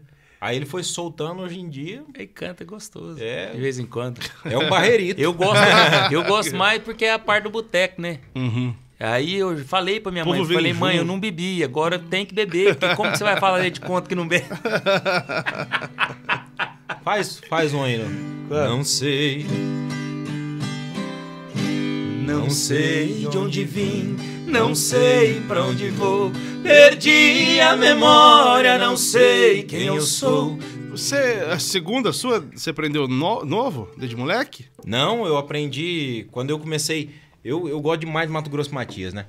Aí, quando eu comecei a cantar com o Capataz, a gente tinha um, um menino que, lá do escritório, deu uma dupla chamada Fabrício e Fernando. Vieram com eles do Mato Grosso. E aí eu gostava demais com, com o Fabrício, nós chamamos de Galo. Cantavam umas músicas altas. Eu falei, cara, quero aprender a fazer segunda. E o Galo é professor na segunda. E ele, né? e ele é ele- bom. então ele foi me ensinando, cara, a fazer. Eu fui tomando gosto. Eu gostava muito de cantar Mato Grosso Matias, mas aí não, não, não dava, né? aí ia cantar com ele, aí eu invadia a voz dele. Falei, não, quero aprender. Aí eu fui estudando, estudando, estudando. Aí não tinha muito, muito tempo pra pra cantar com ele. Eu pegava o violão, tocava e comecei a, a tirar a segunda realmente, assim que eu fui desenvolvendo. Eu tocava o violão na tônica, ia tentando achar a Fazia minha a voz. segunda pro violão. Fazia a ali. segunda pro violão. Então, Mas hoje é confortável. cara, hoje eu consigo desenvolver bem. Você, Não- você cantou com o Matão. Você Já. É que ele entra na segunda em alguns momentos, né? Ele, É. ele vira no meio do Ah, ele. Ah, A não, maioria é das que- músicas, né? velho tem que a NASA tem que analisar ele. Não, é indescritível. Ele veio aqui. Ele foi o, o quinto entrevistado que foi. Mais, isso. É, né? E aí eu pedi pra ele fazer. Eu pedi pra ele fazer a segunda. Ficou muito estranho, né? Só a segunda. É, porque não fica melódico, E né? não Fica, né? fica- mas é uma sozinho, coisa de doer, né. Eu é vi eles bom. gravando uma vez, eles foram participar de um disco do Zé Antônio Divanei. É, uma música que é do Divanei. É, a gente se ama de um jeito gostoso que só nós dois sabemos fazer. É do Matão, do Mato Grosso e do Divanei essa música. E aí gra- ele gravou essa música e uma outra. Eis a homenagem que te ofereço, morena linda do Mato Grosso. Cara, ele chegou primeiro, o Matias depois. Aí eu falei, mas tá de brincadeira, como que vai cantar? Ele pôs a voz. Cara, eles eram tão, tão sincronizados. Ele pôs a voz, saiu do estúdio, o Matias foi lá e cantou depois. Eu não entendi nada. Falei, Ele pôs "Rapaz, eu- primeiro, né? É, É. pôs a primeira em cima da Ele voz. contou isso aqui. Que ele já fez primeiro, não precisa ouvir a segunda. Não, ele, eu vi, rapaz. Falei, caralho, velho, que porra é essa? Porque você consegue, se precisar. Você tá doido. Fica estranho, né? Não tem jeito. Uma Ah, música ou que- outra, às vezes, é fácil de você fazer. Só você tem que memorizar bem, né? A, a, melodia. Ele é muito. Ele é muito. Não, cara, ele... é um ET, né? É, que É um assim, ícone, né, Ele cara? aprendeu tanto, ele desenvolveu uma técnica tão grande que hoje, eu vou falar assim, poucas pessoas conseguem fazer o que ele faz, né? Primeira, segunda, então ele entende da voz. Então ele consegue colocar a voz dele em- em- nas regiões que ele desenvolveu. Sim. Às vezes assim, ele faz uma segunda diferente de uma segunda normal, mas ele vai duetar na voz. Isso é dele, ele criou isso aí. Então, cara, é um cara assim, é, eu sou suspeito de falar dele, sou suspeito de falar do Rafa, né? Canta demais, Meu Deus do céu. né? O Rafinha, além de uma pessoa fora de série de, de, de- de- Preciso chamar ele aqui também, né, pô? Não, Fazer cara, ele é um cara assim de uma Ele deve ter humildade. tanta história pra contar com o Matão. ele é um cara Porque- da humildade. Ó, e assim. Ele deu uma vida pra aquele velho, tão assim, de- eu chamo ele de velho mesmo, viu? Tem Até você vai me ver, velho, benção, eu eu tenho um respeito muito grande. Ele brinca com o Matão de um jeito que nem um moleque brinca com o outro.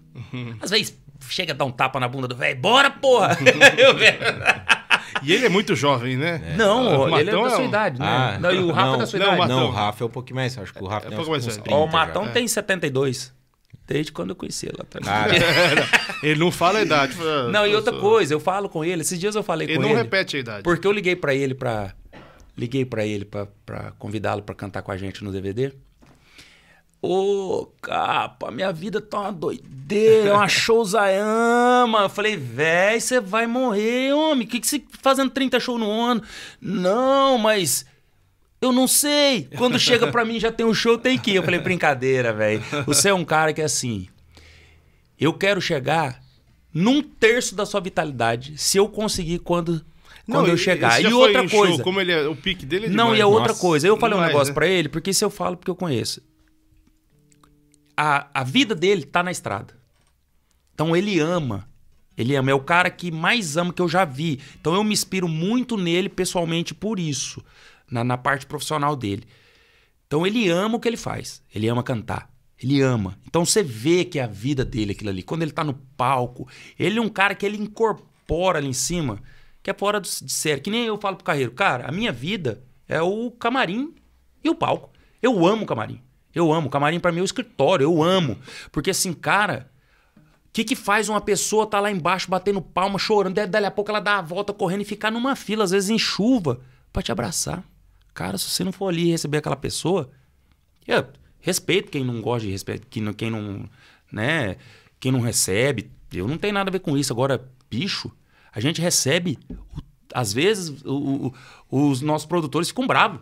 Porra, vamos dar uma encurtada. Não, cara, calma, daqui a pouco a gente acaba aqui. Você falou, o milionário voltou a cantar por isso, né? Ele tá com o filho do Zé Rico. Pois tá é, Fazendo cara. uns shows porque não consegue, né? Morre em casa. Uma né? vez eu falei isso pra Joana, é, a Joana, filha do, do, do milionário, quando ele quando ele gravou com o Marciano, a gente foi convidado, nós fomos lá na gravação, lá em São Paulo. A hora que eu cheguei, eu vi que falei, porra, teu pai tá outro cara. Ele, ela falou assim, deu vida novamente pro meu pai.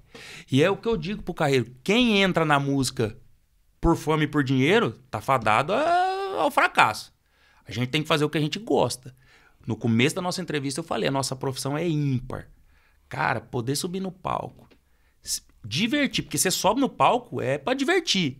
E ganhar por isso ainda, velho. Porra, não Muito tem bom. profissão no mundo o, que faz isso. O Matias mora lá também, pro seu lado? O, O, o, o Anísio? o Anísio mora. O Matias É. é, vizinho. Ó, a história é assim: o Matias é vizinho do pai do Rafa. Hum, O Matias, o Anísio hoje tem uma dupla, chama Matão e Mata Matias. Matias. Eles vieram aqui esses dias, eu tentei, E mas... o Rafa, o Rafa é afilhado do Matias. E o Rafa canta com Mato Grosso. Então é um, ficou todo mundo em casa. Eu tô tentando trazer, eu pedi sua ajuda pra trazer. Eu vou O- dizer o Matheus Matias. na hora, falo com eles na hora. Eles vieram aqui em Campinas, fizeram um show aqui no fechado, mas eu, fiquei- eu soube no dia só. Nossa, falo com eles na hora. O Matias. Ali o, tem o- história também. Nossa Cantou senhora. nesse aniversário que eu tô falando pra você do nosso amigo Cleitinho. Ele tava lá também? Cantou Matan Matias Pô, também. devia ter ido, cara. É de Nossa, organizar Tava a vida nata, melhor. né? Tava o Christian, Gilberto Mar, o É, eu lembro do César Rick Paulinho, que Renner, César e. Paulinho. Meu Deus do céu, tá bom demais. Que massa, cara. o... Vou tocar mais alguma coisa de vocês? Aí, vamos. Você falando do Mato Grosso, você lembra? Ó, um pedacinho daquela que nós gravou com eles? Hoje é noite devagar sozinho De encontrar espinhos por onde eu andar Hoje é noite de tristeza e finda Apesar de linda que esta noite está esta noite traz o fim do dia, que ela voltaria para os braços meus. É a noite dos meus devaneios, mas ela não veio como prometeu. Tá doido, hein? Essa Cara. música daí, pô, assim, o Carreira era muito fã do, do Mato Grosso Matias, né? Ah, você conhece bem, então. E aí, Ixi, demais, quando, a né? gente, com- quando a gente montou a dupla, e ele era muito fã, nossa, né? Aí eu falei assim, cara, vou fazer, dar um presente pra esse moleque. aí eu liguei pro pro velho. Falei, Matão, você não grava uma moda com a gente? Pô, capa. Na hora. Falei, quero gravar uma moda sua. Porque o carreira é fã incondicional. Beleza. Falei, só que nós vai ter que dar uma mexidinha no tom, né, bebê? Não tem jeito nós cantar da Artura sua, velho. Põe em qualquer tom que eu vou em qualquer tom. E foi, e foi. Foi, cara. Eu coloquei voz lá, cheguei em casa, falei, puta que pariu, cantei pra caramba. Aí voltei no outro dia, né? Aí ele já tinha posto voz, mandou a hora que eu vi, falou, não, vou gravar de novo. Fica feio, né? cara, é impressionante. Eu, ah, Porque você fala um pouco mais grave que ele, não fala? Com, com Com- o Matão? com- É, Mato ele fala, mas... Acho é, um- um às vezes bocadinho. sim. fala um pouquinho mais grave, eu acho, você. Rapaz, A gente baixa, sempre que a gente vai cantar, a gente baixa um, um, um tonzinho, meio tom, pra Ó. ficar mais, mais confortável, né? Porque E esse- também a técnica ele, que ele usa É, pra que- cantar, aquele... É, outra história. é é diferente. Não dá pra entender. E, e no começo da, é da nossa dupla, assim, eu só tenho a agradecer, cara. Mais uma vez agradecer o, o- o João Carreiro, porque assim, a história que a gente cantou, eu, eu conheci muita gente. Conheci muitos artistas e graças a Deus fiz amizade com todos. Porque eu sou esse cara aqui, né? Sou esse aqui. O Marcos Bellucci cantou com a gente, eu peguei. O Gustavo Lima estourado, velho. Estourado. Gustavo Lima é o maior artista do Brasil. E eu tinha perdido o telefone do Gustavo. E liguei pro Luciano, pro irmão dele. Falei, Luciano, cara, voltei, voltei pra estrada, tô cantando com um menino novo. Precisava da ajuda do seu irmão. Será que ele consegue? Aí ele falou assim, capataz, manda a moda aí. Aí mandei a moda. Uma é o música jeito mais fácil de falar com esse povo. que esse. é uma Qual que música, a moda, que é uma música do Alex Ayus também. Que ele tem umas pedradas também. Aí ele falou assim, ó, meu irmão falou que gosta demais de você, vai na hora, vai cantar. Só adequar a agenda. Eu, puta merda, cara, e o disco tava pronto, só faltava ele, só faltava ele. Aí eu falei, ô Lu, cara, será que. Ele falou, cara, eu falei pra ele que você precisava do disco inteiro. Ele tá gripado, mas vai lá gravar. Ele foi, pôs a voz. E a gente, no começo, o Léo optou por, por, por lançar a música do, com o Marcos Bellucci. E como eu te disse, a gente sempre foi uma dupla independente. A gente não tinha bala pra colocar na música do Gustavo depois. Nossa, esse homem ficou bravo comigo. Falou, rapaz, você não, não pôs a música do meu irmão? Mas Eu falei, cara, foi uma estratégia aqui. Que música que era? Ah, Cê- pô. Você lembra do É, Gustavo? o amor me tirou pra. O amor. Senta aqui no colo meu, vou cuidar dos sonhos seus e só você vai saber os segredos que guardei em silêncio te cuidei só. Aí ele entrava, Você você, vai vai saber."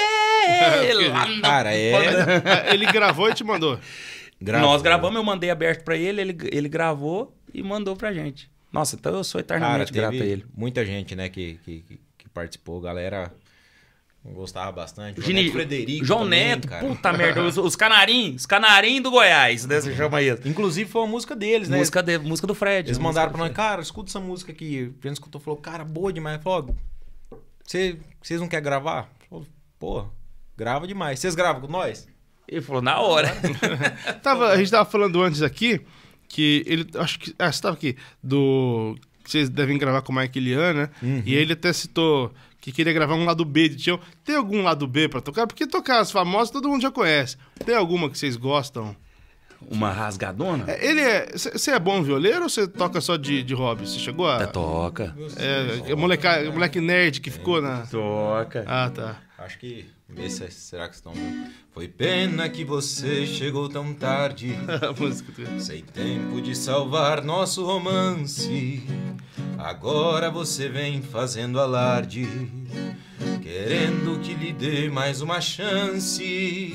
Eu sei que o seu erro é perdoável, mas como vou mandar a outra embora? Mulher não é objeto descartável que se usa uma vez e joga fora. Outra chance vou lhe dar pra você conquistar o lugar que era seu. Vai ser a última chance. Quem desperdiçar o lance é o azar de quem perdeu. Sei que a outra é força bruta. Se você ganha essa luta, estou pagando para ver. Não vou ajudar em nada, vou sentar na arquibancada e torcer contra você. Moda, tem, um, Cara, tem uma demais. versão do Mark Lian dessa, cantando essa música. Cantou também. Acho que no Raul Gil ou no Viola Minha Viola? Acho que no Raul Gil. Cara, é bom demais. Fizeram bem mais pra tango, assim. É? Não, os dois Cara, tem uma Essa música do, do, do lado A em particular que, que eu sempre fui apaixonado nessa música, chama Carreador. Inclusive, antes de, de começar a cantar com o Capataz, eu cantava ela em alguns festivais de viola que, que eu pedacinho? participava. Carreador, já corroído pelo tempo. Não, bom demais, cara. Então, eu queria muito agradecer vocês. Poxa, a eu, gente que agradece. eu engraçado quando é, eu fechei a entrevista aqui com, com a Bianca, assessora de vocês, ela falou: "Vamos fazer". Eu falei: "Porra, faz tempo que eu tô pra fazer, né? Que eu tava precisando fazer". E o pessoal falava: "Ah, pô, você não chama o capataz porque você tá do lado do João Carreiro". Eu falei: "Cara, se vocês conhecessem os bastidores aqui". Eu falei: "Não". E ele sempre comenta as minhas fotos cornetando alguém, né? Ele tá sempre Ah, cara. Inclusive, você tá cada vez mais parecido com o Teodoro, né? Eu tô voltando. É, Ele, você não conheceu, mas ele pegou a fase áurea. Ele tinha um É? cabelão igual do Teodoro. assim, Igualzinho. é. Ué, tem que voltar, ué. Tem É, que velho, eu tô- deixar... tô- Não, ficou bom. Cansei do cabelo mais curto. Menino que mais agora global caiu. agora, né? É, mas com o Teodoro, ele veio aqui também. Veio. Falei do cabelo com ele. Também é um ícone da música, né, cara? Se juntar ele e o Mato Grosso, Ave Maria. Tenho que fazer um livro dos dois. Nossa, é três horas e quatro horas conversando aqui. Então, muito obrigado. Fio, e, pô, agradece, quero no DVD. Eu vou, eu vou, Você vai? vou. Então Terça-feira. Opa. É terça-feira, terça-feira, então não tem perigo. E a gente só quer agradecer você, obrigadíssimo mesmo, por tudo que você faz, né, cara, pro meio do sertanejo. Que você é um cara inteligente, é... Cara imparcial, né? Que os outros falam aí. Tá, tá... Tá do lado de quem? Esse Tá- É, não tem cara, lado, que vocês né? peguem Não tem lado e outra mundo. coisa. Não é, é que ninguém veio aqui pra fazer polêmica, longe disso, né? Hoje, que eu, que eu disse, a gente já tá mais maduro, cada um tem um pensamento, cada um tem uma história, a história, né? né? Então a gente tem os lados. Traz o Léo também. O é Léo vai cara ser. Não, o Léo tem umas O perguntas. Léo vai dar um ibope bom pra Vai, você. vai. Vai, porque ele fala Cara, engraçado ele e é o- ele se revolta nas histórias. Ele é um show de stand-up ambulante, cara. É. Ele é impressionante. E ele se mexe, né? Ele vai se. vai se- Não, cara, mas assim, olha, obrigadíssimo mesmo por você, né? Todos que você traz aqui. Quem é fã do sertanejo, que nem você acabou de falar do Bob Hobbs, cara, eu era moleque quando eu escutava, né? Escutar as histórias que nem eu escutei do Milionário. Pra mim, eu tive a oportunidade de cantar ao lado do Milionário Zé Rico, né? É, o João Carreiro Capataz, nós fizemos acho que uns cinco shows seguidos. A gente era tão fã que eles não desciam nada da carreta deles. Nada, nada. Nem uma lamparina. A gente usava todo o nosso cenário pra deixar pronto pra eles. Ah, que Pra legal. eles cantarem. A gente era muito fã. Então, rapaz do céu, aqueles dois era assim. Então, eu fiquei assistindo a, a entrevista do Milionário. É, Então, assim, parabéns pelo trabalho que você faz, né? E Deus te abençoe na sua vida, cara. Não, vai- e os cortes aqui vão ficar bons É. também. Vai ter um- E aumenta o salário Não. da sua mãe, bicho, porque tá Quem foda. cuida é ela aqui. Essa transição de artistas hoje aqui foi um negócio que. Dá, dá, dá uma carregada nos títulos. Teste, favor. É, a- a- Vou carregar, vai ser Pelo amor de Deus, hein? Drama. Pô, É, vai- drama, é isso drama, mesmo. drama. É. Capataz chora, velho. É. Pô, eu vou meter uma frase. tá, vou por isso depois aqui. Com autorização. Então, É, isso mesmo. Muito obrigado. Obrigado A gente que você, agradece, cara. cara. Valeu. Um Valeu. prazer.